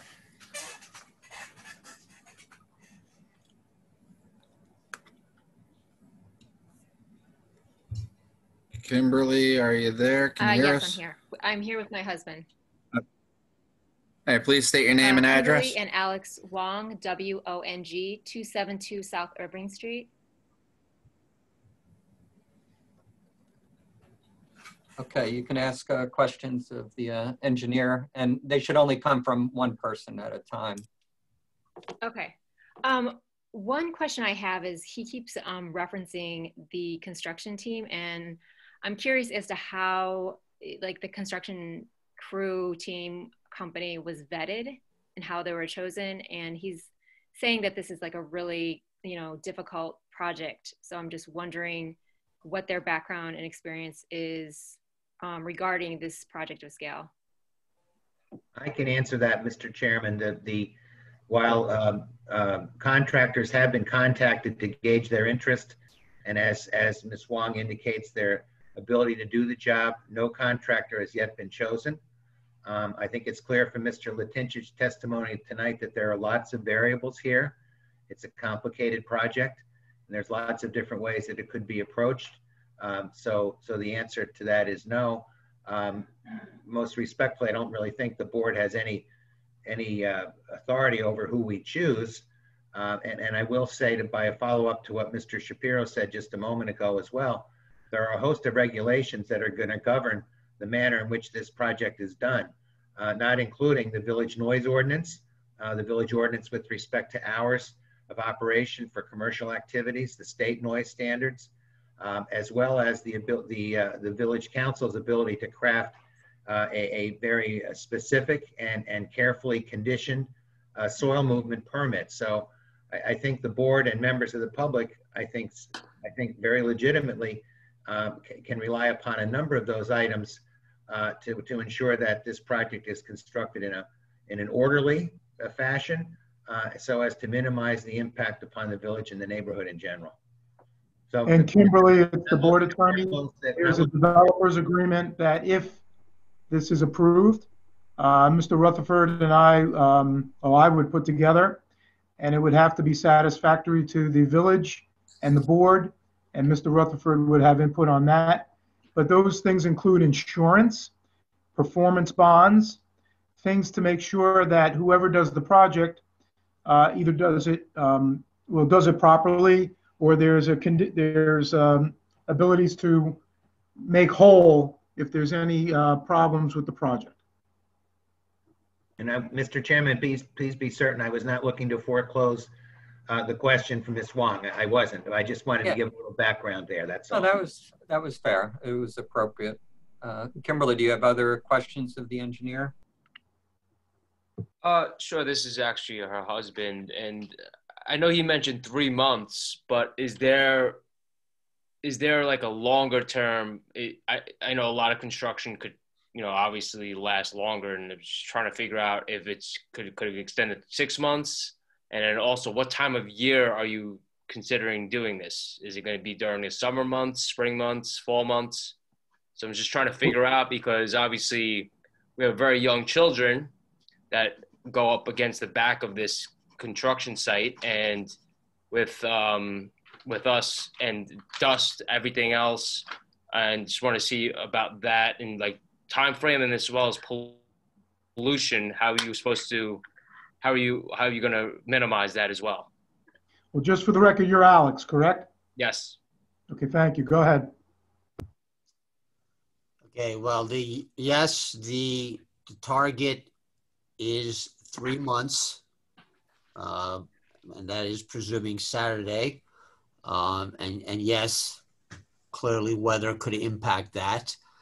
Um, I cannot, there's not to sidestep the many variables here, but, uh, and I can't speak for the association, uh, but I believe springtime, um, early spring is the target uh, to initiate this project. Um, and uh, so as to, so it does not drag into the mid to late uh, summer uh, months.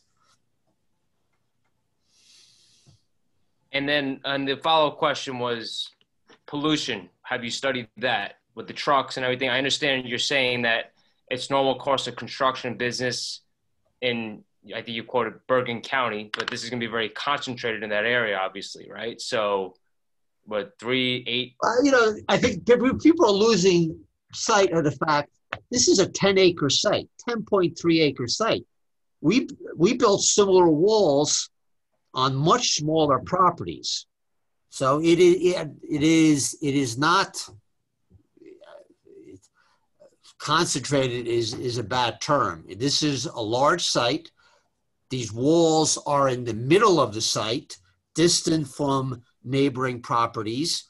They're down in a ravine, natural ravine topography. I mean, these are all, you know, positive factors. Um, many cases, these walls are totally hidden. Um, the um, obviously there will be dust control as part of typical compaction. You lightly moisten the soil. Um, the erosion control measures are. How do you lightly moisten the soil where you will be? I'm sorry to interrupt you, just I quickly want to, I, I'm- I wanted to take that note down, but where you are in the ravine, what truck or hose or, or hose equipment will you be using to moisten the soil? garden hose. A garden hose? No, you just lightly spray the soil. You can't. With, from a garden hose down into the ravine that you're telling this gentleman is far removed from the site. So how are you hooking up a garden hose? Okay, the- we- but we are there directly adjacent to these, to the, to the, in some cases, a few feet from these units. I, I, you know, there's. Okay, so I'm saying, but that, that was my question. I'm just, so Oh, you're yeah. saying you will use a garden hose Yes. attached to somebody's unit? Anybody's, just whoever's is closest to where you are, a garden hose. That, that's simple. Got it, okay. Um, erosion control and dust control is, is specified, normal and customary. Um, the, uh, the, did I answer your question? Uh, I, I'm more concerned about the control of in in the trucks as well, going through that path through Cedar. Uh, so I understand the in inside the I guess the ponds itself or whatever you want to call those, the ravines you were mentioning. Okay, I cannot, I cannot com- comment by, on, on the trucks that some third party is supplying, but I'm presuming these are roadway legal inspected trucks, no different than all the other trucks that pass through Ridgewood. And the materials in the truck. Yes, no different, if- a moving van. If there was people moving out of Hopper Ridge or No, I'm not. I'm not talking about the trucks themselves. I understand that. I'm just talking about the materials in the trucks. So it's going to be dirt. It's going to be dust, everything in there. Is that going to be covered while it's moving? Absolutely. That is the, um, that's a requirement that all trucks have a cover on them. The concrete block actually arrives wrapped in plastic. The pallets are wrapped in plastic. The con, uh, the, the, uh, the crushed stone is actually washed before it leaves the quarry. The truck is absolutely covered and the same with the select fill. That is a basic requirement. And in terms of the noise you were mentioning, I know the pumps we had we addressed that. Is there going to be drilling, like hammering or what, like jackhammering or anything like that, or it's just really just uh, heavy machinery? no no jackhammering. Um, there is uh, uh, there will be skid steerers um, and compacting equipment, vibratory plate compactors. Okay. And question just generally in has anybody ever has anybody hired their own lawyers from each of these houses? I'm just curious. to- Their own what? Their own counsel or lawyers. Like if I could get my own lawyer to review everything and to ask questions, has has anybody has anybody at household done, done that? Just curious. Okay, that's not an engineering question. I would defer. I'm just I'm not asking I'm not asking you. I'm just asking the board. Yep. Yeah, that's, that's a legal question. You, you're free to consult a, an attorney if you Okay. want. Chris, That's you have great. anything to add to that? Yeah, nobody's filed any kind of appearance on behalf of any uh, resident, except the applicant on behalf of the association. A, a question, Mr. Tibor. Um, where you said that it was a th- roughly three-month project, 63 days, if I recall. Mm-hmm. So two, two and a half months, the 63-day project. That's if there were two crews working at each end of the project. Is that what I understood you to say? Okay, the again, that's that's a means and methods question. We have uh, previewed this project with a list of contractors. Um, and again, there's six, in round numbers, there's 6,000 face feet of wall. A good, in a normal project, it's 500 feet a day. This project, uh, uh, as little as 100 square feet a day. Um, production will increase as um, the walls rise up and access is, is improved. Um, the but three months is the target. No, I, I think my, uh, may, maybe my question wasn't clear. Apologies. My question is, you stated that it's, I believe you said 63 days or three months if with two crews, one on each end. Yeah, I said there may be two crews. Okay, so, all right, that's fine, that's fair. You said there may be two crews. So my question then is this, so just bear with me. If there are not two crews, it- with two crews, obviously it's a shorter duration. So because you said it, it kind of, I just had made a note. What is the anticipated, I mean, two crews work differently together. You know, that they, they each take up a, a piece of the project and, and maybe one follows the other along. I don't, you know, I don't speculate how that may happen, but the question is if, if the contractor doesn't have two crews, what does that, in your estimation, add to the timeline of the project? Okay. Um, And I ask because you said it. Uh, That's the only reason I, I ask if you can't. I, I, okay, the, I think in con, I think things are thinking, statements are being taken out of context. I pointed out that when we're discussing tru- truck traffic, if there were two crews working at extreme ends of the project, and, and that is very practical because the, you know, the separate walls, you're gonna have more truck traffic on any given day. Um, the, we have vetted contractors. Uh, this office in Hopper Ridge is being very careful to hire capable, competent contractors who have the manpower and the equipment for this project. Uh, Hopper Ridge does not want it to drag on and on. That vetting process, and I think I previously gave testimony, um, in addition to our experience with similar projects throughout Bergen County, we went directly to the manufacturer, Keystone Block, and asked them for their A list of contractors for a project of this nature. They provided us four of their A list contract of, or their A list, not their contractors, but contractors who purchase the block from Keystone and uh, construct similar projects. Um, I believe we reached out to three more contractors. Um, and in doing so, um, this is not just, I also asked for input from contractors that matters that should be incorporated into this project and the planning. So we don't have a problem. I don't want, nobody wants to hear you should have, would have, could have the day after you started. So great care is being taken in that regard. Um, we, it is not going to be um, a small scale contractor. Um, and uh, it's not going to be a, a small scale landscaper building a wall of this size.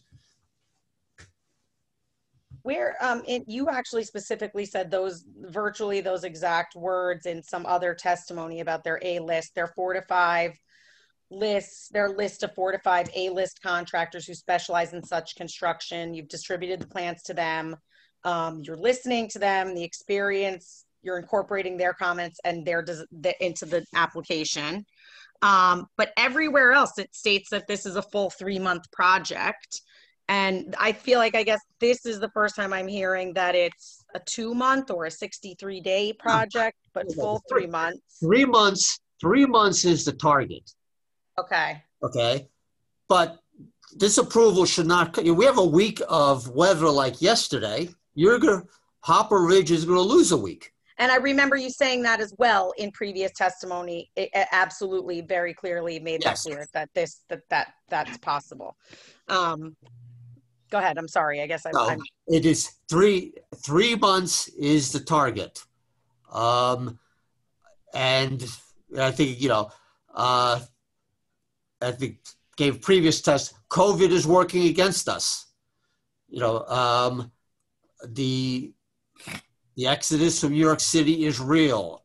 Excavators are in extreme demand right now. For people who are familiar with septic systems, to get a septic contractor today, uh, an excavator, their lead time is 12 to 16 weeks from now. That's the reality that we're the current new norm. So there, there's variables here. I, I pardon if I'm repeating myself. Three months is the target. Could it absolutely go four months with bad weather? Um, there's a supply chain in, uh, we all know that you can't, you know, there's a supply chain problem in plywood now. I have checked with Keystone. Is there a supply chain problem with Keystone block? Right now, there is not. Um, hopefully, there, that will not, that will be the same situation in uh, the spring.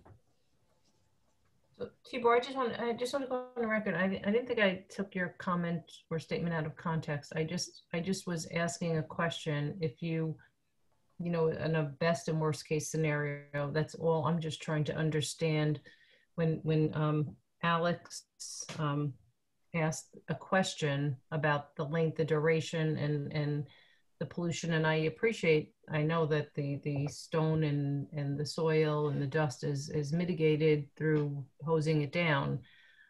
But in, in terms of pollution, pollution doesn't always happen just from stone dust, as as he pointed out. It's truck pollution, it's noise pollution, so lots of pollution. You know, it's, it's variable. And so I was only asking a question. I didn't take. I don't. I don't I, I, don't think I took anything out of context. I was just trying to understand the best and worst case scenario. So we'll leave it at that. Thank you. Okay. Uh, Alex, do you have any more questions? Is he still there? No, we're, we're okay. Thank you. No, thank you. Okay. Uh, anyone else from the public to ask questions? Yes, we have, hold on. Um, Mr. Horvat. Okay. Uh, he's coming in right now. I have a follow-up question for uh, Tibor. Sure. He had stated in previous meetings that there would be 12 feet between the old wall and the new wall. And now he states it to be about 6,000 linear feet of wall. And and he said that all that, when the, to complete the project, that they have to backfill with stone and then dirt on top of the stone is 12 foot wide, 6,000 feet long. Now, you tell me how many loads of stone? He said 36 loads of 325 loads of stone. Is that, can he clarify that? Okay, the the okay the crushed stone behind the walls is uh 30 39 uh, loads of stone and the select fill behind the walls is 31 62 121 uh, truckloads. Um, and if people bear with me, uh, I'm going to see if I have some good pictures on a similar wall. I think it'll just pictures worth a thousand words. I'm going to interrupt. I believe that the, the question had to do with 6,000, if I heard the question correctly, 6,000 linear feet. Yes. I don't think your testimony was 6,000 linear feet. Am No, 6,000 square feet of wall, excuse me. That's what I thought. You Okay. divide that by 100, and that's where you get the 63 days, correct? Uh, yes, yes. The length of the walls is 624 feet in total. The total square footage of the wall is 5,878. Call it 6,000 square feet of wall face. Um, and there's 12 feet between the existing wall and the new wall. Okay, so how many square feet of fill is there to fill in? And it's six feet high, 12 feet in width by 624 linear feet long. Okay, the the actual quantity, um, bear with me here. Um, Mr. Latincsics, I okay, think it's that's. a hundred, it's in, in nineteen hundred and ninety-three cubic yards of, uh, fill behind the walls. Um,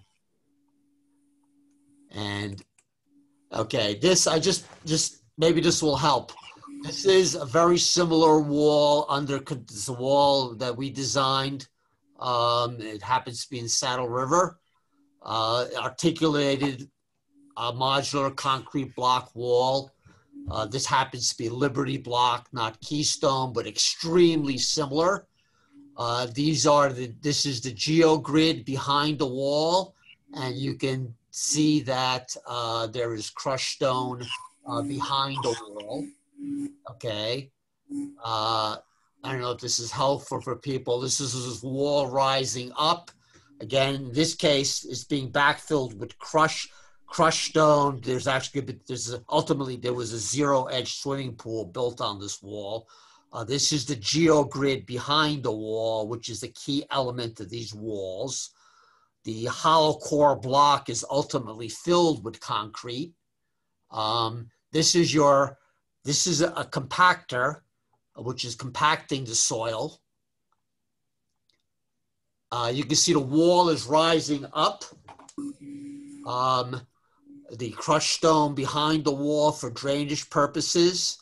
This vertical piping is sonotubes for the future uh, fence posts. Um, this is actually a drain here. You can see block is being laid out. In this case, we had very good access, so heavy equipment had no no problems. Okay, now here is this is you can see why the 12 foot we're talking about. Here is the wall backfilled with crushed stone, a minimum of one foot of crushed stone behind the wall. You cannot drive heavy uh, equipment um, or vibratory compactors. In this case, will be a much smaller compactor.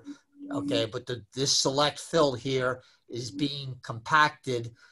The previous slides, the geogrid, which are effectively dead men, are extending into the soil and the soil is being compacted. Is this helpful for people? Here is the face of the wall. Um, uh, in this case, there was extensive drainage at the base of the wall. And there's the finished wall. Um, and this is a very similar, this is a blended block. Um, you can see there's a swirl texture, and this is the block that we're specifying here. It's, I think it's attractive. It's a, it's a split face block, a textured block. Um, and I'm not sure if you can see it, but there's there's a swirl of gray and brown, That's what they're gonna a blended block, um, which is very aesthetic. Um, and this is what the this finished product will be very similar uh, in this case. Tibor, how many photos did you just show? Uh, how many? I believe that was six. And uh, Mr. Rutherford, wha- which, let's just mark these collectively as, what, what are we up to? That's uh, one, two, three. Yes, six photographs. I couldn't, I'm sorry, Mr. Martin, I just didn't hear you there, I'm sorry. Yeah, uh, let's mark this collect, the six photographs. What, what exhibit are we up to? That's a good question, I don't know, I'm sorry, I don't know. Why don't I we wouldn't- mark them? What A1 to, with the, with this evening's date, is that okay? I'll, I'll look at the transcripts and I'll provide it. Okay, well, whatever it is, it'll be exhibit and then um, one through six, okay? That's fine. I'll look, I'll get the transcript and I'll get you the proper number. Is anyone else getting like that feedback? Yes. Yeah. Yes, I did a moment ago, that's why I couldn't hear Mr. Martin. Yeah, no, I know. Like it's like really annoying. I don't know if somebody Robert, has- do you have uh, other questions for Tibor? How many cubic yards per truck and how many cubic yards does it take to backfill those? Uh, my calculations are based on 18 cubic yards per truck. And the soil, such as this, exactly what we have here, um, is uh, 1993 cubic yards, which is approximately 110 uh, truckloads. So that's more than 39.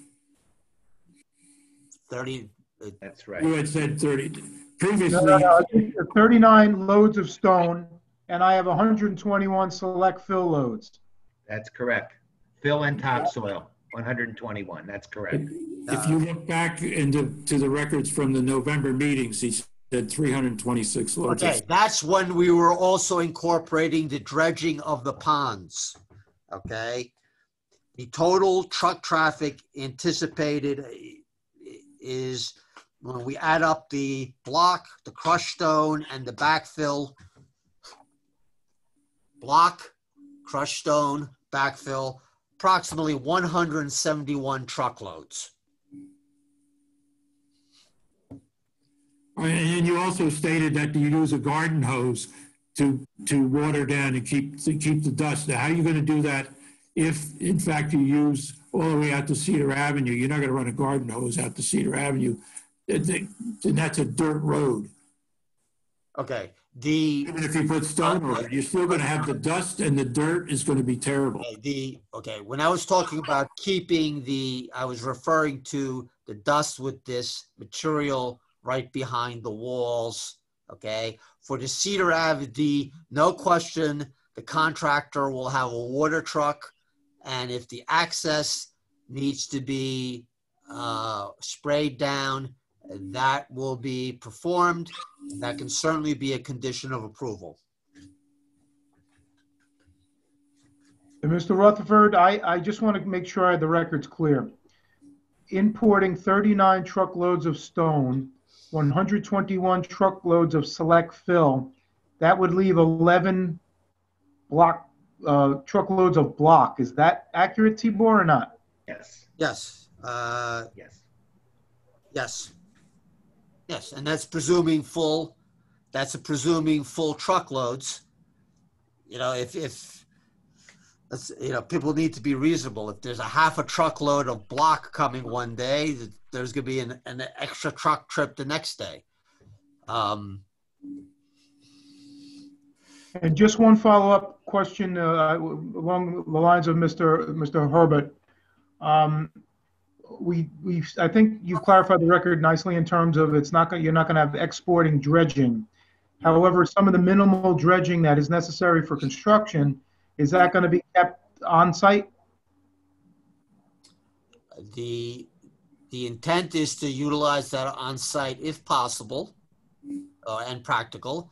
That does, should not be limited that if there is, uh, it- if there's good reason to export it, export should be permitted in the approval. This is normal and customary construction. So we would need to know what an estimate of that is if that was to be included. If not, that will not be in my resolution. I can provide that. We have, uh, uh, once, give, give me a moment. Six-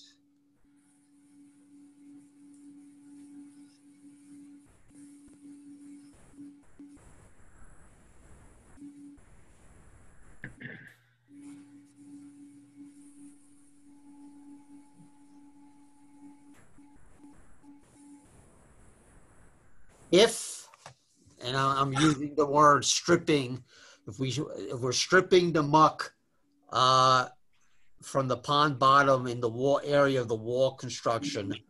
And if all of that was exported, it would be approximately 12 truckloads of material. Um, there's a great benefit to drying it on site because the volume reduces significantly when you dry it on site. Um, and yes, it, it's nobody wants to uh, truck wet slop because it seeps out the tailgate and makes a mess of the town roads. So it is prudent to dry it on site. And if it was to be exported, it would, in its wet condition, it would be approximately 12 truckloads. Um, it is our, our goal to utilize that on site for uh, restoration and erosion control purposes.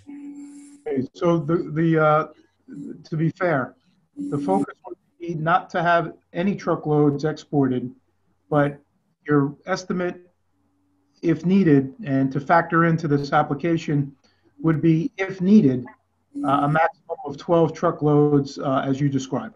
Yes. Okay, thank you. How long would it take to dry and what is the odor of the material when it's drying, sitting there? Uh, the, well, as a practical matter, that material would, would, uh, longer is better. Uh, we would seek the full three months. And uh, when it, it when it first comes out of the pond, It's gonna um, one can anticipate some odor. I, I, I cannot give any technical information on, on odor. Um, but uh, that is uh, practical matter. Would you like to live next to it for three months? Um, actually, I, I do.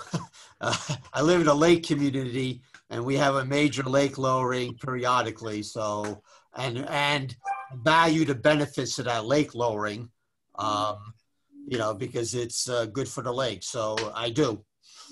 Well, the neighbors wouldn't be benefiting from the smell of it, I'll tell you. Okay, uh, questions? Any further questions, Robert? Or Well, I think d- d- lowering the level of a lake is a lot different than dredging out a pond and putting the, the waste that comes out of the muck out of the pond, piling it up and leaving it there for three months. It's a big difference. The it is very impractical to truck the material when it comes directly out of the pond. It is normal and customary to stockpile it on site, allow it to dry, and hopefully the goal is to utilize it on site. And that would reduce the truck traffic. Impacting the whole neighborhood with, with this material and everything else that's going on. And there's no benefit to anybody in that neighborhood other than the Hopper Ridge community. Mr. Chairman, I'm going to, I'm going to interject once again. You know, I, I've heard that several times this evening. And I indicated earlier, there are 36 families that live in Hopper Ridge, 100 residents of the village of Ridgewood. They have the same interest in ensuring that this project is done as expeditiously, as efficiently, uh, and with the least amount of disruption to the neighborhood as anyone does. This is going to take place on their property. They have as much concern about this as anyone. And I understand the concerns of the interested parties. I understand that and respect that. This is a big project and we understand that. But I think we need to keep, kind of keep this in context here. If anyone wants to get this project done quickly and efficiently, it's Hopper Ridge. That's fine, then let them do it on their own property. Okay, uh, Mr. Mr. Horvath, Horvath, do me a favor, you can make comments at the end, and Mr. uh, Rutherford can make his summation at the end. I apologize for not limiting this earlier, but again, your questions and probative of the witness, once you're done, that's fine with the questions of this witness. You can ask other questions of other witnesses. And when you want to make your position statement, you can make that at the end, and Mr. Rutherford can make his as well. Thank you very much. okay. Are there any, anyone else from the public to ask questions, Dylan? I am showing no other hands raised. Can I ask you one quick question um, of Tibor? Um, I just, I had gone back over some of my notes while you were um, you, discussing the timeline and the targeted timeline. And I noticed that on our, I think it was the November 3rd meeting, and I'm sorry, I didn't, um, I didn't ask this a little bit sooner, but I just found the note. Um, we had, you had said that three months was the targeted timeline, presuming three crews for the three walls at 7 a.m. to 5 p.m. I think at that point you were still factoring in on seven days a week and and we had had some conversation about how this needed to be attractive to contractors because it's not an attractive project and whatnot. And i don't actually know that we ever came back uh, circled back around to i understand three months as a targeted timeline but in your testimony it was three months as a targeted timeline seven to five seven days a week with three crews. Um, and I don't know if uh, Susan had asked a couple questions a few minutes ago, and I think we were then talking about a crew at one at each end, so only two crews. And I know you're talking about different things at different times here, but has the timeline been refactored? And I can go back to the specific testimony and, and wording, but has it been recalculated with our village ordinances and our time breakdowns and And, and while it was three months as a target then, does the target change to something closer, something, something different if we're talking about adhering to village ordinances and, and not as many crews able to get in there? And I can go back to the specific te- testimony. It was November 3rd if you need, if you need me to. I don't think they ever said seven days a week. I thought it was six days a week. Well, originally they had said seven, and you, I believe, reminded them that on Saturday it was seven, it was nine to one, and I I can Never literally go back, and then I think it was me that said that there was no nothing allowed to be, or maybe it was you on Sunday, and I think uh, Mr. Latincsics had said it impacts the contractor and it's a very difficult project. It's not attractive to, and they want to make it attractive to contractors. Our ordinances would limit which contractors would be open and receptive to this job. And then I think we got sort of backlogged in that conversation. You, I think what it was is Tibor had said something along the lines, and the contractor will not want to show up for half a day on Saturday. Right. Yeah. Um, right. So I don't actually think we ever circled back around. Yeah, in fact, I see here we didn't. It literally, one of the next sentences was so moving on. Um, but I mean, I think we were, it impact, it impacted the contract, how this was impacting the contractor and, and what, what we were shooting for was a timeline of three months. But that was seven to five. I think seven days a week. I'm not sure. Yeah, the, the premise, okay, the With three was crews. always, was always six days a week. We've learned that Saturday afternoon is not permitted under the ordinance. Um, The target, and this is an educated statement in that we have discussed this with capable, competent contractors, is three months. Now, could it be long? And as Mr. Rutherford, it is certainly in Hopper Ridge's interest to, for it to move as quickly as possible. That being said, with, with, if we have a week of solid rain, um, you'll, we will lose a week. Um, What is the week of solid rain due to the drying out dredged material that we were just discussing that, that does have to get dredged? If you have material sitting there drying and we have a week of solid rain, are you back at square one with that drying process? Or are we just delayed equally on Well, either end of that? It's, it's, well, okay, it's to uh, properly compact soil, it has to be at, within a, a proper range of moisture content. Um, But, you know, if we had rainfalls like yesterday, yesterday was not a working day. Um, So they will uh, lose time. Now, uh, uh, there, there are, there are challenges here. The contractor, I'm a little concerned where this goes to, you know, the- that after three months, if the wall is not finished, a permit is revoked. That is unreasonable. Um, our, the target is three months. Um, the, uh, but there needs to be accommodations for the variables. Um,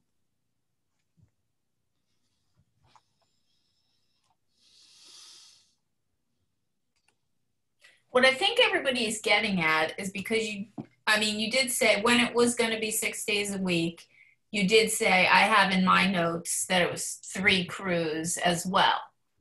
So now it doesn't seem like any company is going to have three crews.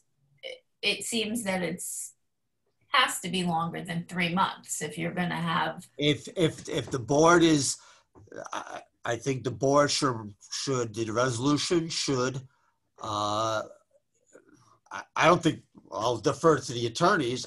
I don't think the resolution could put a time limit on it. no i don't think so I mean, either there, there, but- there are homes that go for construction for years. Sometimes unfortunate, but I'm, I'm a little, um, I'm a little puzzled Um, I wasn't asking about a time, putting a block, an end cap, an end date on the, on it. I think we're just trying to get a realistic expectation of the length of time of the project because when we started talking, I'm sorry, I did go back and check. You're right. You were saying six days a week, seven to five. And we discussed it seven to five, seven thirty to five, and then only nine to one on Saturdays. And you had said it would be advantageous to the HOA to complete this project, to, to, to keep contractors working the entire Saturday. And, and we had said that that's not within our ordinances. I just think we're trying to get, we never circled back around to a recalculation of what it means if we only have two crews working certain, certain limited time frame. So I, I think that's what we're trying. No one's putting an end cap, I don't think. I was just Yeah, trying to no, get a mi- better. Now, Ms. Huben and, and, uh, and uh, Committee uh, Woman Reynolds, they're good questions in terms of um, the minimum crews. I mean, Tibor, would you say that you, it would be fair to put in a resolution a minimum of two crews?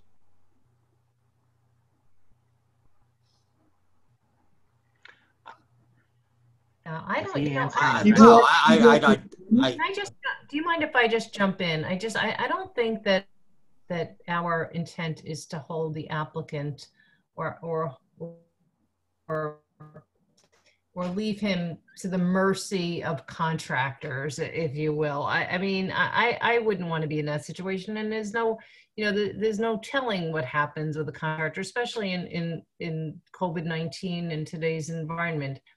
I was only asking that question from my perspective to, to ascertain a best case and worst case scenario so the people in the neighborhood can better understand what, you know, look, Tibor, the worst thing that happens is somebody says, yeah, our timeline is, is six, two months or three months, and then five months down the road, everyone's upset. So if the best case is, is three months and the worst case is five to six months. That's all I'm asking because I don't want this to be surprise anyone. I want everyone to have a realistic expectation about what may or may not happen. I didn't mean to get into the weeds and I'm not suggesting that that any uh, approvals would be revoked uh, based on the availability of contractors. I, I mean, obviously that's not something we would want to do to an applicant. And as Mr. Rutherford has repeatedly pointed out, these are not just Ridgewood residents, they're our neighbors. I mean, they're a part of our community. So we're not looking to hurt anyone. I think we're just looking to establish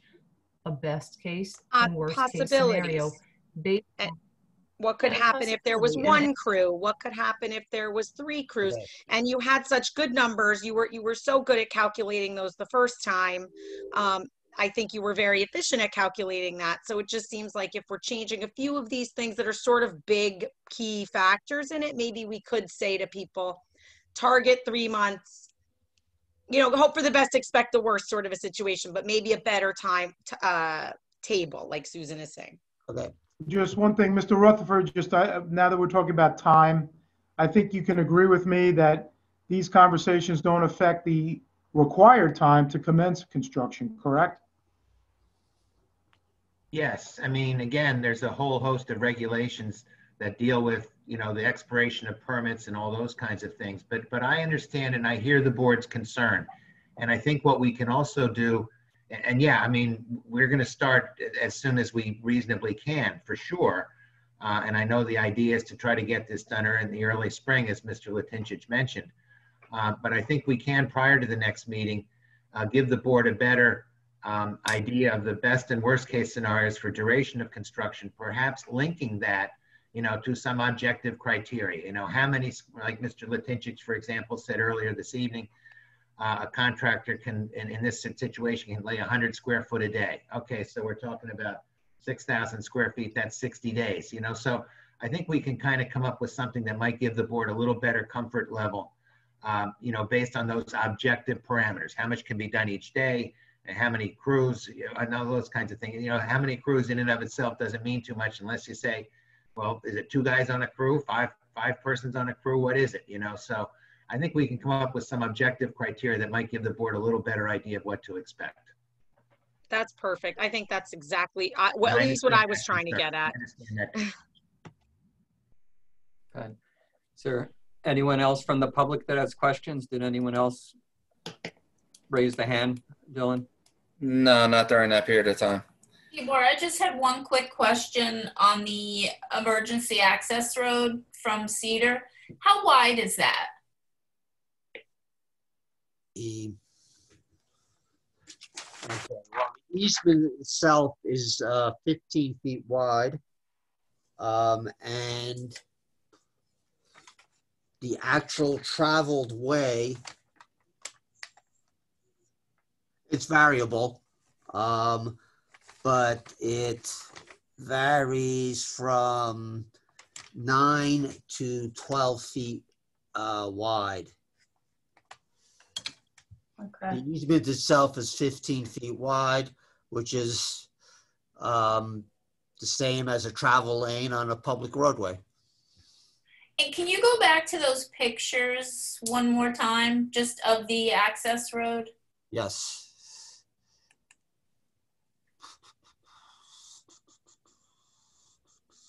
And Tibor, while you're doing that, I just want to clarify to write this down. You said it varies nine feet to 12 feet, other Yes. areas 15 feet? The easement is 15 feet. Okay, but the actual road, physical passageway is nine to 12, correct? Yes. Thank you. And one, one further note on that, one further note on that, if I, and I hate to interrupt, but as you can see also from the plan, the traveled way is not in all respects coincident with the easement as well. So we, just so the board's aware of that, the traveled way you'll see falls outside the, of the easement. Certainly when it accesses from Cedar, I think primarily due to those trees that Mr. Latincsics mentioned earlier. Okay, yeah. Just to be clear on the record, that's all. That's the only reason I say that. Photograph number 40 is the concrete curb cut and apron uh, leading. Um, I'm pointing to the s- Right. twin sycamore tree where actually the traveled way narrows down. Right. So Oh. when a truck comes in through that and they have to avoid the sycamore tree, are they going to be driving on? I th- I think it's uh, Mr. Horvat's property. Yes, the the the uh, let me just check. The easement overlaps. Yes, the easement is overlaps Mr. Horvath's property. Okay. And that fence is Mr. Horvat's fence. Yes, Okay. And then the fence on the other side, that cedar fence, is that that's this fence here is Hopper Ridge's fence. That's the gate. Okay? That's photograph number 43.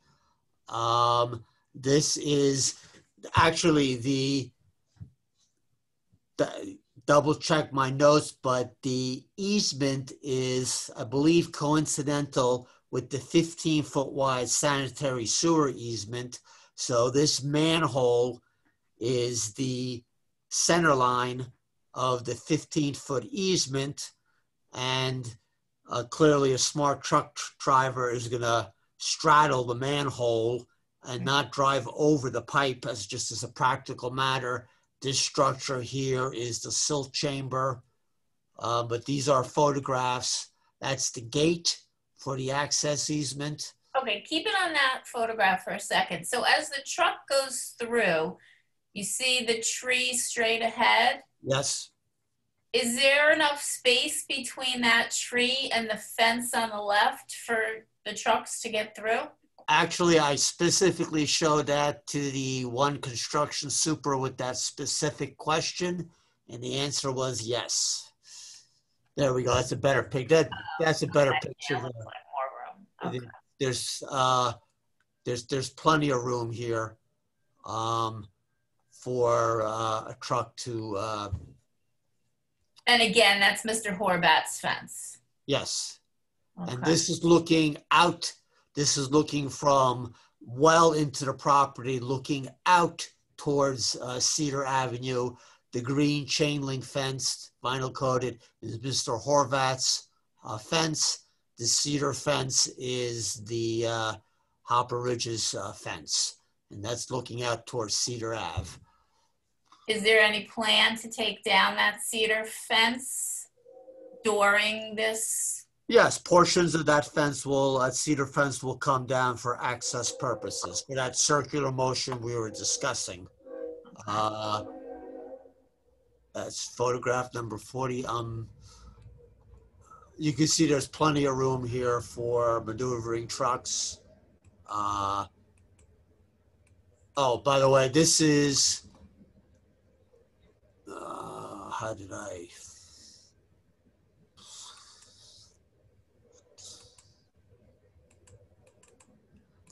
In fact, this is, I was referring to eroded areas. This entire bank here is in poor condition and is an ideal place to put some of that pond skimming. And this is the stockpile area. This area legitimately will need to be retopsoiled. This is the exact area where we will be looking to dry out any material removed from the ponds and the exact area that we'll use to utilize that same material. And Uh, if you don't dredge the ponds, what are some of the negative consequences that would occur? Well, the well, yeah, the, the the ponds will slowly revert to uh, a wetland condition as they slowly silt in over over a period of time. The north upper pond will become more of an emergent wetland than a, um, than the pond. It's going to silt in over time. Okay. And the benefit of dredging it is what? It, re- it remains a pond. Okay. How And- long would that approximately take? I'm sorry, Lorraine. That's okay. How long would it take for it to silt in over Um, over time? I mean, is that 20, 30 years? Is that five years? Or, I mean, if that's not something you could get, Okay, I, um, again, many variables there. It's my understanding the pond was drenched, dredged once before to maintain its uh, condition. Um, it collects everything that enters the municipal storm sewer system in the 60 upstream acres. Ultimately, if it's not trapped by the silt chamber, it is passed into the pond. Um, over time, it will um, it will uh, fill in and revert and and go to uh, an emergent wetland. so I totally heard you say that a minute ago, but I was just wondering if there's any guess, guesstimate or guess on how long is that? This pond has been there about 30-ish years, is that? Yes. So it was dredged once in 30 years. It hasn't silted in yet. And it didn't silt in before that dredging. So can we presume? I I cannot I cannot give an opinion. Okay, thank you. I appreciate that. Talking about the, the, the ponds, you have to expand the ponds? And also, how, how deep do you know how to dig where you're expanding it? Okay, the are the um, and yes, that will be so that will be export. Um, the current plans are to uh, I believe three feet deep, uh, just to have a reasonable body of water. Um, we are considering, and that would be a discussion with DEP, to reduce that to perhaps as little as six inches. Uh, it'll be an emergent wetland. Uh, that, but that is, we're going to discuss that with uh, DEP. Um, let me, that is, I seem to remember, bear with me while I check some numbers here. I have to refresh my, um, that was a specific number of the pond excavation. Um, and uh, I have to check my notes here. Please bear with me. Yeah, Tibor, take your time. I got a question. David, you said the, um, the travel way, some of the travel way is outside of the easement. Do you mean that some of the travel way is on the Hopper Ridge property? Is that what you meant? Well, Mr. Latin, I was, yes, it's not on the, hi- it's on the Horbat property. Mr. Horbat's property. But as part of the easement? I think it goes, Mr. Latincsics can specifically answer the question. I believe that the roadway at a certain point falls outside of the easement, correct, Mr. Latincsics? Yes. Um, let me pull up that plan. You- Would you need a license for that, David? Well, it's, I don't know. That's a good, that's a good real property law question. Um, I don't know. Uh, it's been that way. Okay, so I'm gonna zero in on that very specific area. Sewer line angles in there, so. Okay. Mr. Latincsics's plan, I think, has a highlighted version of the, Okay, this is, yeah, this is a highlighted version. Okay, the, the green, this is the 15 foot wide uh, sanitary sewer easement, which I believe is coincidental with the access easement. And I'm tracing the uh, western side of it and the eastern side of it. that's right. Uh, to be verified, uh, the property line, I believe, is right down the middle of that 15 foot wide uh, easement property line to be verified by survey. I have not surveyed the Olcott or Horbat properties. Um, and then there's yet another easement. There's a drainage easement, a 10 foot wide drainage easement, which is offset from the sanitary sewer easement. Okay, but the, and this is the drainage line that runs in that easement from the municipal drainage system to the silt chamber to the pond. Highlighted in yellow is the sanitary sewer, which is on the Olcott property outside the easement and running at this peculiar angle. And I would ask Chris to, you know, he may have different notes to verify this, but this is the sanitary sewers in the in the street, and we are presuming that that line runs to this next manhole. And then the gray shaded area is the traveled way of the easement because of this large double sycamore, which I'm tracing with my pointer. Everybody drove around the sycamore tree. So the traveled way, um, which is somewhat of a prescriptive easement, um, is outside the deeded easement. Um, but by the time it enters the Hopper Ridge property itself is within the easement. I'm tracing the Horvat fence, that's the chain link fence. Um, that's in all the various photographs. Um, so a lot of information here. Um, this is the curb cut for the access easement, which does not necessarily line up with the deeded easement, all because of the sycamore tree. There will be no disturbance of the chain link fence, is that fair to say? Correct. Yes. And if there's, do you, do you anticipate following a successful completion of this project that the easement travelway will return to its normal state or there would be a betterment?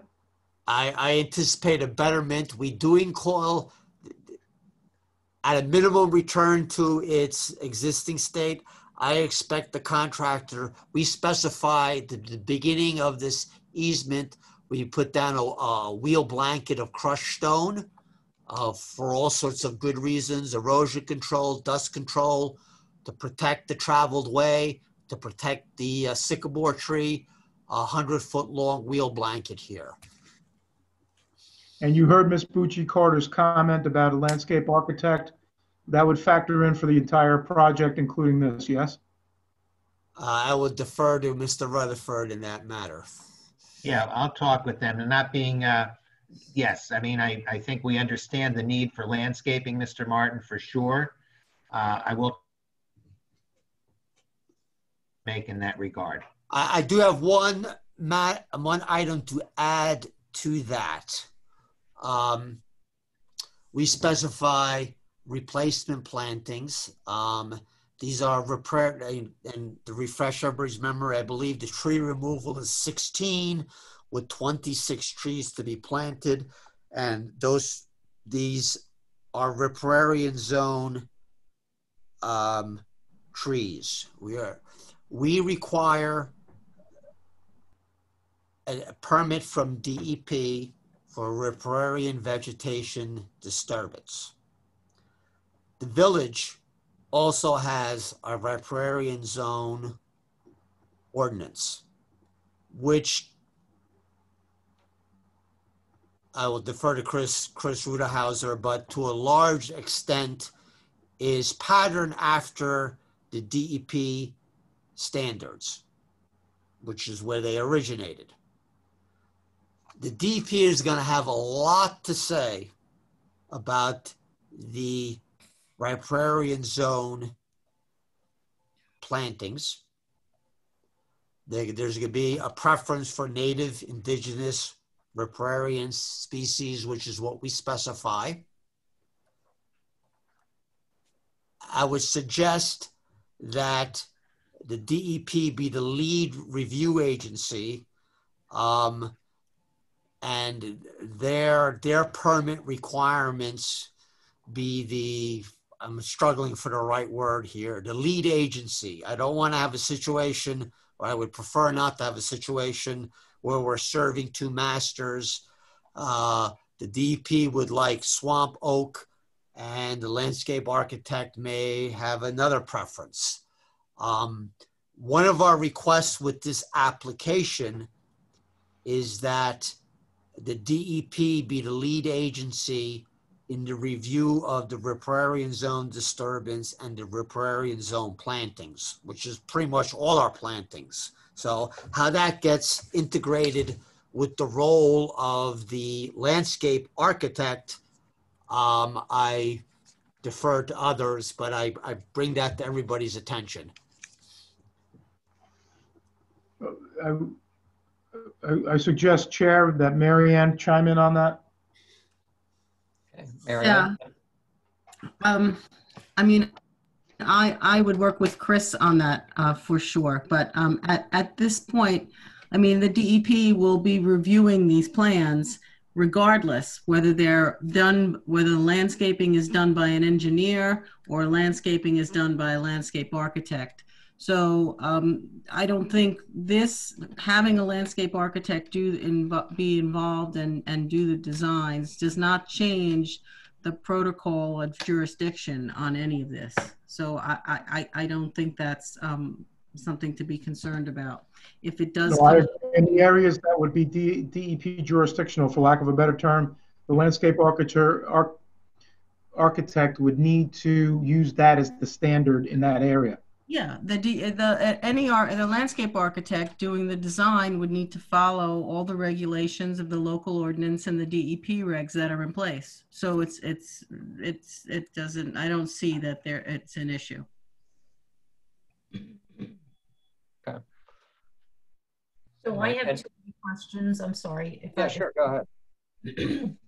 So um, I just wanted to go back. I don't know. It's probably not a question Tibor can answer, um, but it's something that's worth exploring. That pond that is um, potentially silted up and becoming an emergent wetlands. Do, can we determine to the, the percentage that it's currently um, silted up? Is that the term you used? And and because I, I think the question is to dredge or not to dredge, and whether or not we allow it to continue. Is there, and maybe Chris can answer, is there, how do we determine what percentage and, and how much time before it becomes, uh, you know, like a wetland? And then the next question is that um, extended um, pond area that you just said about going only six inches. That would be troubling to me because that's like standing water and and so I just wanted to ending that would that would to me create a six inch emergent wetland would create standing water that would be for me in my mind anyway a mosquito control issue because the deeper the water the less the you just by nature you have more movement maybe you have you know, fish or something I don't know but it just would seem to me that that is a potential for um, you know breeding ground for mosquitoes and, and other issues. So I don't know, is that something we should be uh, examining very closely? Chris, anyone? I don't know. Does, doesn't it have to be able to maintain the amount of water that it was first designed to, No, the, to, to hold? the design, okay, there is, the purpose of, I- I think the original developer had a- an aesthetic consideration with these ponds, but their stormwater management purpose is that there is stormwater storage above the normal water surface of these ponds, which is ultimately controlled by the outlet control structure in the lower southern pond. Yesterday, it was functioning. Um, there is no regulatory obligation to maintain a volume to these ponds. Um, now, interestingly enough, when you build detention basins today, DEP actually encourages them to be planted wetlands on the bottom of a detention basin as a as an environmental element. Um, you know, we know from the Wetlands Protection Act that wetlands are viewed as a positive by the DEP. Um, so uh, we are we're going to discuss this um, again, and this goes to the truck traffic, which you know there's there's always a give and a take here. Um, a three foot excavation of this pond expansion would be 322 cubic yards or 18 cu- 18 truckloads export. Um, if some of that can be utilized on site, um, that would reduce that export. And again, utilize on site selectively, such as you know areas that are eroded on site, landscaping purposes, etc. Um, but um, the you know we this is why we uh, originally looked into dredging the pond, and as we have investigated, uh, disposal of that material is very expensive. Um, you know, unless there's participation with the Bergen County Mosquito Commission and the village. Um, Can I just ask, when was that all the way ruled out? I mean, our last meeting, we were taught, we were still factoring that all the way and you just as answering a question to a resident about the, dr- about the truckloads is when I and a couple other board members first became aware the dredging of the ponds is out of the discussion. Yeah, Again, I don't want, I don't want, I don't want to, I don't want to lose sight of my question. I don't want to lose sight of my question and have my question kind of be, be taken to a different place that it wasn't intended to be taken. So I wasn't talking about truckloads and trips or anything else. What I was asking was whether or not we can establish the percentage of silt or whatever it is, muck, silt, um, that would become a, a wetland. What percentage is the pond currently? I think the word was silted. What percentage of it is currently silted, and whether or not it is penny wise, pound foolish to not dredge? And the second question was whether or not a shallow depth to another pond. And again, you know what? It, it, it's it's fine to say, well, it's less truckloads and the DEP. Our intent is to have the best outcome for everyone, not just the Hopper Ridge residents, but as you pointed out, for everyone, including the entire the village, the other residents. So my two questions were: Can we establish the percentage of silting that's occurred in that pond that now a decision is being made not to dredge? I'd like to understand that. And number two is whether or not a shallow um, a shallow pond at that six inches as a an emergent wetland, whether or not that poses health risks to neighbors in terms of sitting water. Because in my mind, and I'm not an expert, in my mind, the greater the depth, the less likely it is to just be stagnant sitting water. That's my question. And I, and I guess the question could go to Chris or to somebody else. I, that's my question. It wasn't about how many trucks or, or, or trips or anything else. Those are two questions.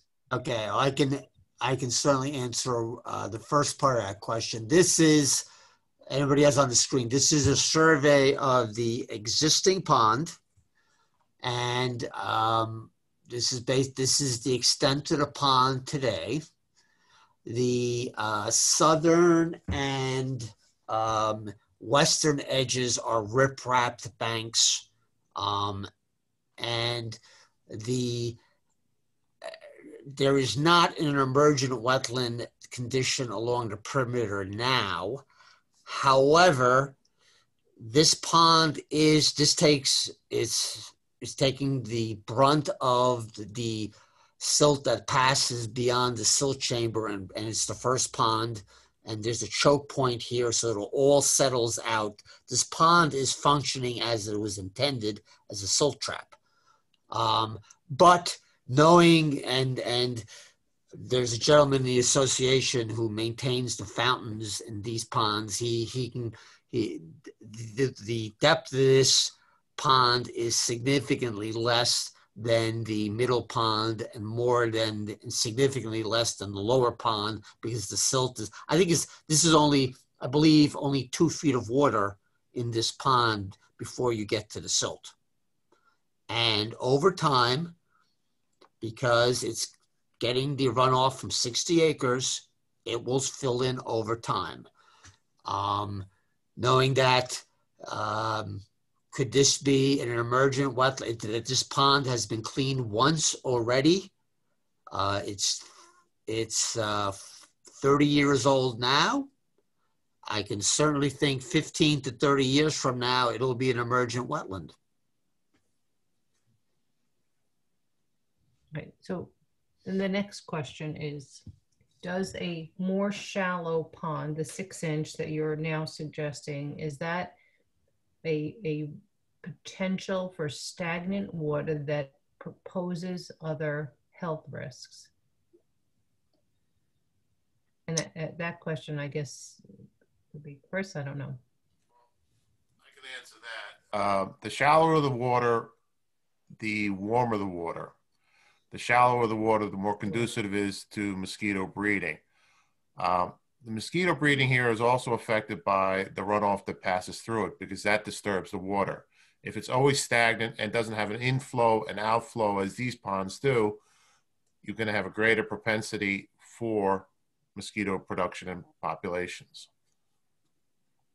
So I hope that answers the question. Unless, of course, you have particularly stagnant water with a particularly dry season, you could wind up with a problem. Yes, if we had a like a summer that had several months of very very dry weather, you probably would see the bottom of that pond very quickly. And then subsequently, you would see the mosquitoes and the health detriments. So, and I'm asking that for a reason because I don't imagine that that six inch pond, a six inch depth is is has has a value, and I I, I think that that again, do to to do it as as proposed is um, appropriate, even if it means a couple of extra truck trips. I, I mean, I just just an opinion. I I don't see that that we want to see like either stagnant water or a mud pit. Uh, you're absolutely correct. Um, this is very much a similar situation to what the village did with Kings Pond, where we dredged that and the water quality has gotten significantly better. Uh, we do have a greater volume of flow Beautiful. through Kings Pond. Um, Mm-hmm. And as a side note from Kings Pond, there were comments made about the dredging material being odoriferous. Uh, I don't recall us getting very many, if any, complaints at all when we stockpiled the dredge spoil and had it dewatered before we trucked it away that it was stinky. So again, it depends on the organic matter. If it's mostly silt, it's less odoriferous. Yeah. So I, I, I Sorry. go ahead. Oh, no. No, I was just going to say, was that when it was built? Was it built to hold a certain amount of water? Was it made Well, for?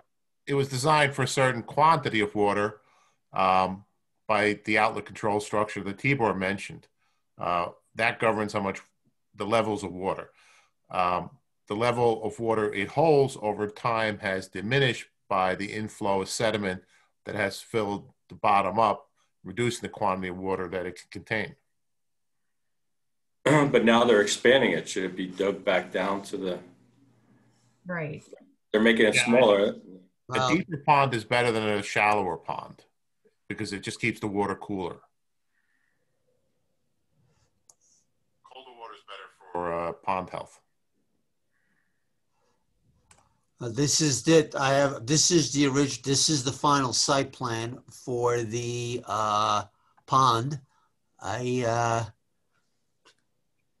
trying to, um, I don't think it calls out a depth. Uh,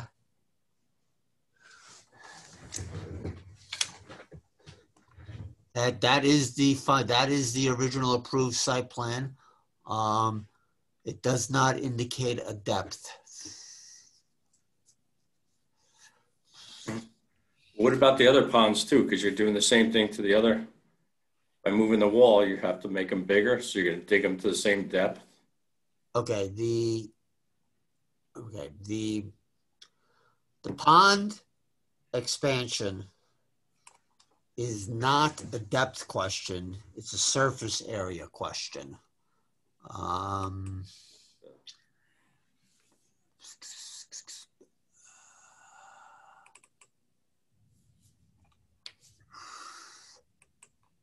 And Tibor, as you're doing that, I just want to say that while it doesn't call out a depth, it, there is a depth. There was a depth established. Right? Is that a fair statement? I'm not sure if I understand. Uh, The one, what you're saying is all, all the, what I'm, you're saying the original site plan doesn't call out a depth, yes, but, right. but- Clearly the but ponds By were- virtue of its existence, yes, they, they mm-hmm. clearly the there was, pond, there, so even though it doesn't, in other words, even though it doesn't call out a depth, a depth was established. Because now it exists. yes, yes, Is that fair? yes. Okay. The, the, gray shaded areas are that portions of the ponds that are being filled to accommodate the wall construction. Um, and as a practical matter, uh, in the state of New Jersey, you cannot have an, a loss of regulated open waters.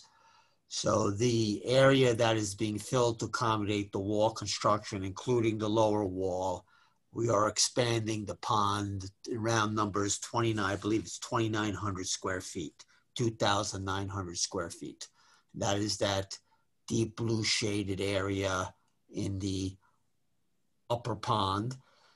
And part of our thought process for the, that yes, as this is, there's a lot, there's many benefits to expanding the North Pond. It's the smallest pond.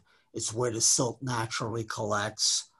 The has good access.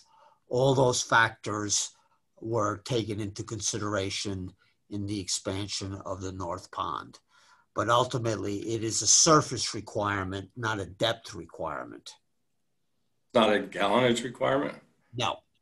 The stormwater Was storage, that- What was that last question? I, no, I said it's not a gallonage requirement. it's not, no. The the lower pond is deeper than the upper pond, so if you take ten feet away from the lower pond and you No, just no, add what- ten feet to the upper Storm- pond, The stormwater storage is that which is above the normal water surface area. The airspace above the, the normal water surface is what was used yesterday for storm for runoff storage. So the requirement and the obligation is to maintain that same surface area of pond available for stormwater storage. what, what's considered a pond? Six inches deep to, Oh, okay. I um, uh, yeah, the, the generically called detention uh, ponds, detention basins. Um, actually, it's called a basin on the approved plan, but I'm not going to. It is a legitimate question, um, and uh, we will discuss that with DP. so DEP will regulate the size, the depth, the, Yes. everything. could also establish the depth. We, we have that,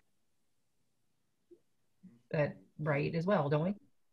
We, can we stipulate, stipulate that it has to be dredged or it has to be a certain depth or? Right. I mean, uh, why couldn't, why, why would we, the DEP might have a depth and we might stipulate a depth as well. I mean, nothing prevents us from saying that we don't, you know, a six inch depth isn't, you know, what, what's appropriate and establish our own depth. No? I'm going to suggest that there may well be some preemption issue here, but I won't comment on that right now. That still comes to mind. A Comment without a comment, right, David? I guess so. I saw an issue at least. I didn't know the answer, but I saw the issue. There you go. And then, David, another, que- I mean, uh, Chris and Tibor and Marianne, David might add, how long must pass in time for a pond to dry up and it's not considered directly caused by the construction and therefore losing the entire surface? I, I don't know the answer to that. Yeah, I don't, I don't know either. I, I don't know. As you asked me that question, I'm sorry. I guess that comes back to the question of when did it come off the table as part of the plan and like who made that decision, the overall decision? I think I, I, I can say that the dredging came off the plan simply because the Hopper Ridge has no ability or resources to do that. It's Right, I think all along it had been a question that the village might have to chip in, but did the village and, and Hopper Ridge or you guys ever have that discussion? No, Okay, no, there has been no discussion with the village uh, about that. Um, And as you're all well aware, certainly, you know, this pond is, a- is, is a, is an important fact, is important part of the village's Yes. stormwater management system, you know, collecting some 62 acres uh, as it did yesterday. So yes, no, there has been no discussion there. The reason the dredging came off the table is that Hopper Ridge, you know, clearly does not, obviously does not have unlimited funds and there's no, there's no funds available for that. Thank you, thank you. I had, I had been curious about that as that got discussed. Thank you. Okay, uh, does anyone from the public, we'll, we'll come back to them uh, a third time, just to see if anyone else has questions in the public. You can just raise your hand and then Dylan will let you in. Anyone? I'm not seeing any, any hand raised. Oh, we got one, we got one. All right, Mr. Hobart, bringing them in right now.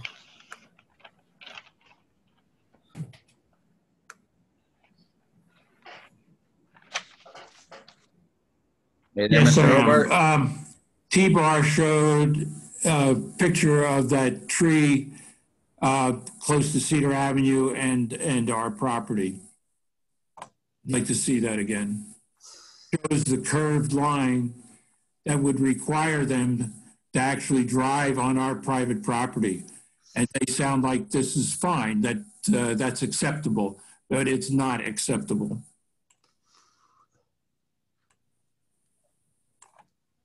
and they and they claimed that that had been used before. They never used that easement when they constructed Hopper Ridge, and they never used it uh, anytime since then. I mean, you can clearly see the line around that tree, and that they would have to encroach on our private property.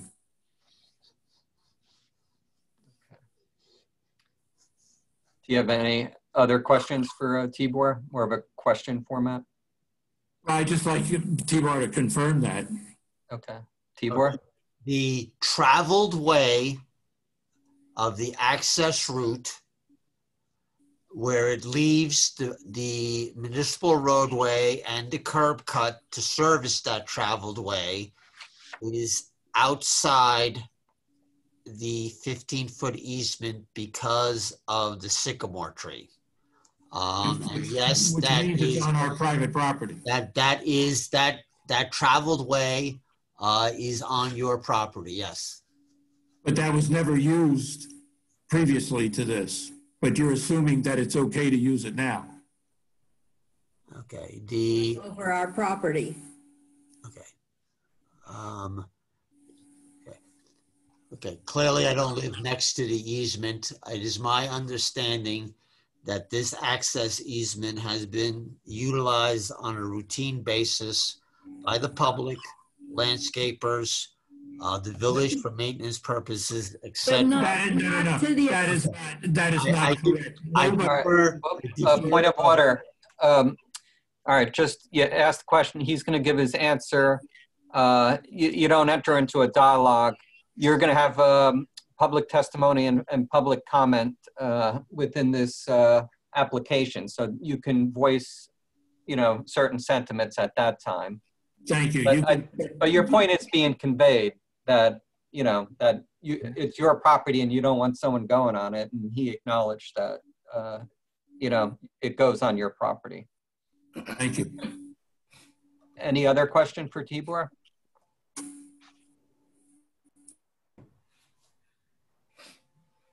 Robert? No, I said thank you very much. Um, No, no further questions. Okay. All right. A- anyone else in the public to ask questions? I am not showing any other hands Okay. raised. Uh, Dave, did you have any other uh, witnesses? Not this evening, Mr. Chairman. All right.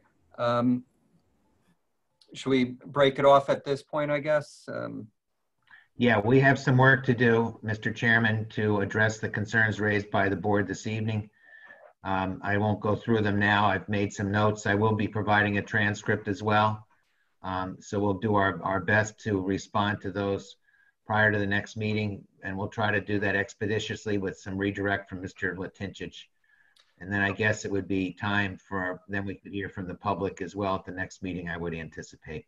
Okay. Uh, Were you carrying this over to the 15th, or did you want to? I think, no, the 15th isn't, I don't think the 15th is time enough. That's only two weeks. Yeah. So I guess our next one would be uh, January 5th or 19th.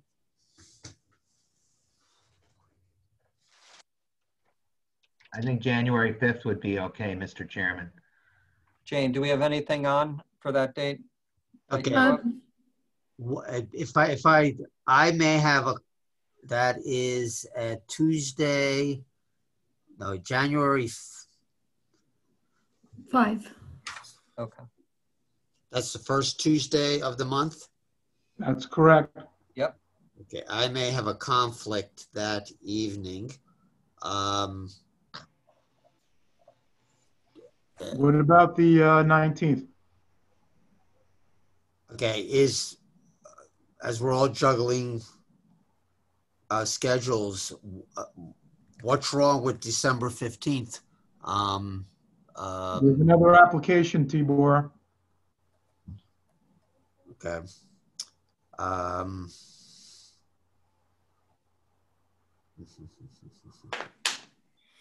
well, actually, my, is my testimony complete? And questions? I think we're gonna have, we're gonna need a little bit more from you. Um, Why don't we, I, just don't think the, the 15th, I know the board has another application, but also it, it takes a little time, you know, I need to get the transcript and we need to respond in an orderly way. I'm not looking to drag this out. I can certainly know that my client is anxious to get this done. Maybe we could carry it to the 5th and we'll just see how it works out for- with, for Mr. Latincsics with respect to his conflict. Yes, and, and I would ask, I, I have to juggle another planning board meeting that evening. um, which we carried because of tonight. um, so I asked for any cooperation and courtesies in that regard. Um, right, well, we'll carry it to January 5, and we'll see how it goes. Uh, Dave, I guess you can let us know if it's, uh, there's a conflict uh, for Tibor and you need to push it back. But we'll just put it for uh, January 5, That's fine. 2021, without further notice and without prejudice to the board. That's fine. Maybe we can somehow coordinate his appearance as well. And I, I appreciate that's difficult to do, but, Okay. All right, all right. And yeah, with no prejudice, obviously an extension of time through January 5th, 2021. okay. actually, the Zoom meetings may make it possible to do two planning board meetings in one evening. Um, Okay. All right, so uh, thanks, Dave, for the presentation, and uh, I guess we'll see you back on this one, January 5th, hopefully. Thank you all for your time this evening. Thank you. Okay, And thank you. David, Good thank you evening, too. Thank you.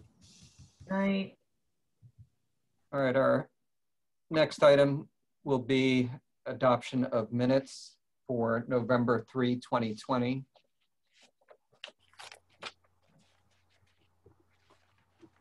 Whoever was present on that date is available to vote on them. I guess uh, Um, Fran was the only oh. one out there. yeah, right. I'll make a motion to approve as submitted. Okay, do we have a second? I'll second. Okay, Jim, second. All right, call the roll. Okay, Mayor Knudsen, Did I say yes? Susan? Yeah, okay, I didn't hear you. Okay, Chief McGore, Yes. Councilman Reynolds, Where is Lorraine? She's gone. um, okay, Mr. Joel, Yes. Ms. Huban? She gone too? Gone. Oh, um, Ms. Patiri? Yes. Uh, Ms. Westner? Yes. Ms. Johnson? Yes. Yes. And Mr. Lubarsky? Lorraine is back, by the way, I'm Jane. back. I lost my connection. Okay. Uh, We just had a vote on the uh, minutes for November I could 3. hear I could hear everything that was going on, but you couldn't hear me. I'm like, I'm Melanie back into. I don't know what happened to me either. I just was suddenly gone. No idea. I'm back. Yes, my vote was yes for the minute. Okay, all right. All right, so it's yes. All right, they're approved. Okay, is there any other, bus- uh, any need for an executive session, Chris? Not yet, no. Uh, What, are you trying to scare us? Uh, All right, any further business, Feel like anybody? 30 of them when COVID's over. Any further business? Do we have a motion to conclude? Okay, motion by Mel, we have second. Darlene, all in favor? Aye. Aye. Okay, we're concluded. All right, great. Good night. Thanks, guys. Good night, Thanks for everyone. everyone's Good time. everyone. Thank you. Have a good night, everyone. everyone. Thanks, Dylan. Thanks, Dylan. Thanks, Anytime. Jane.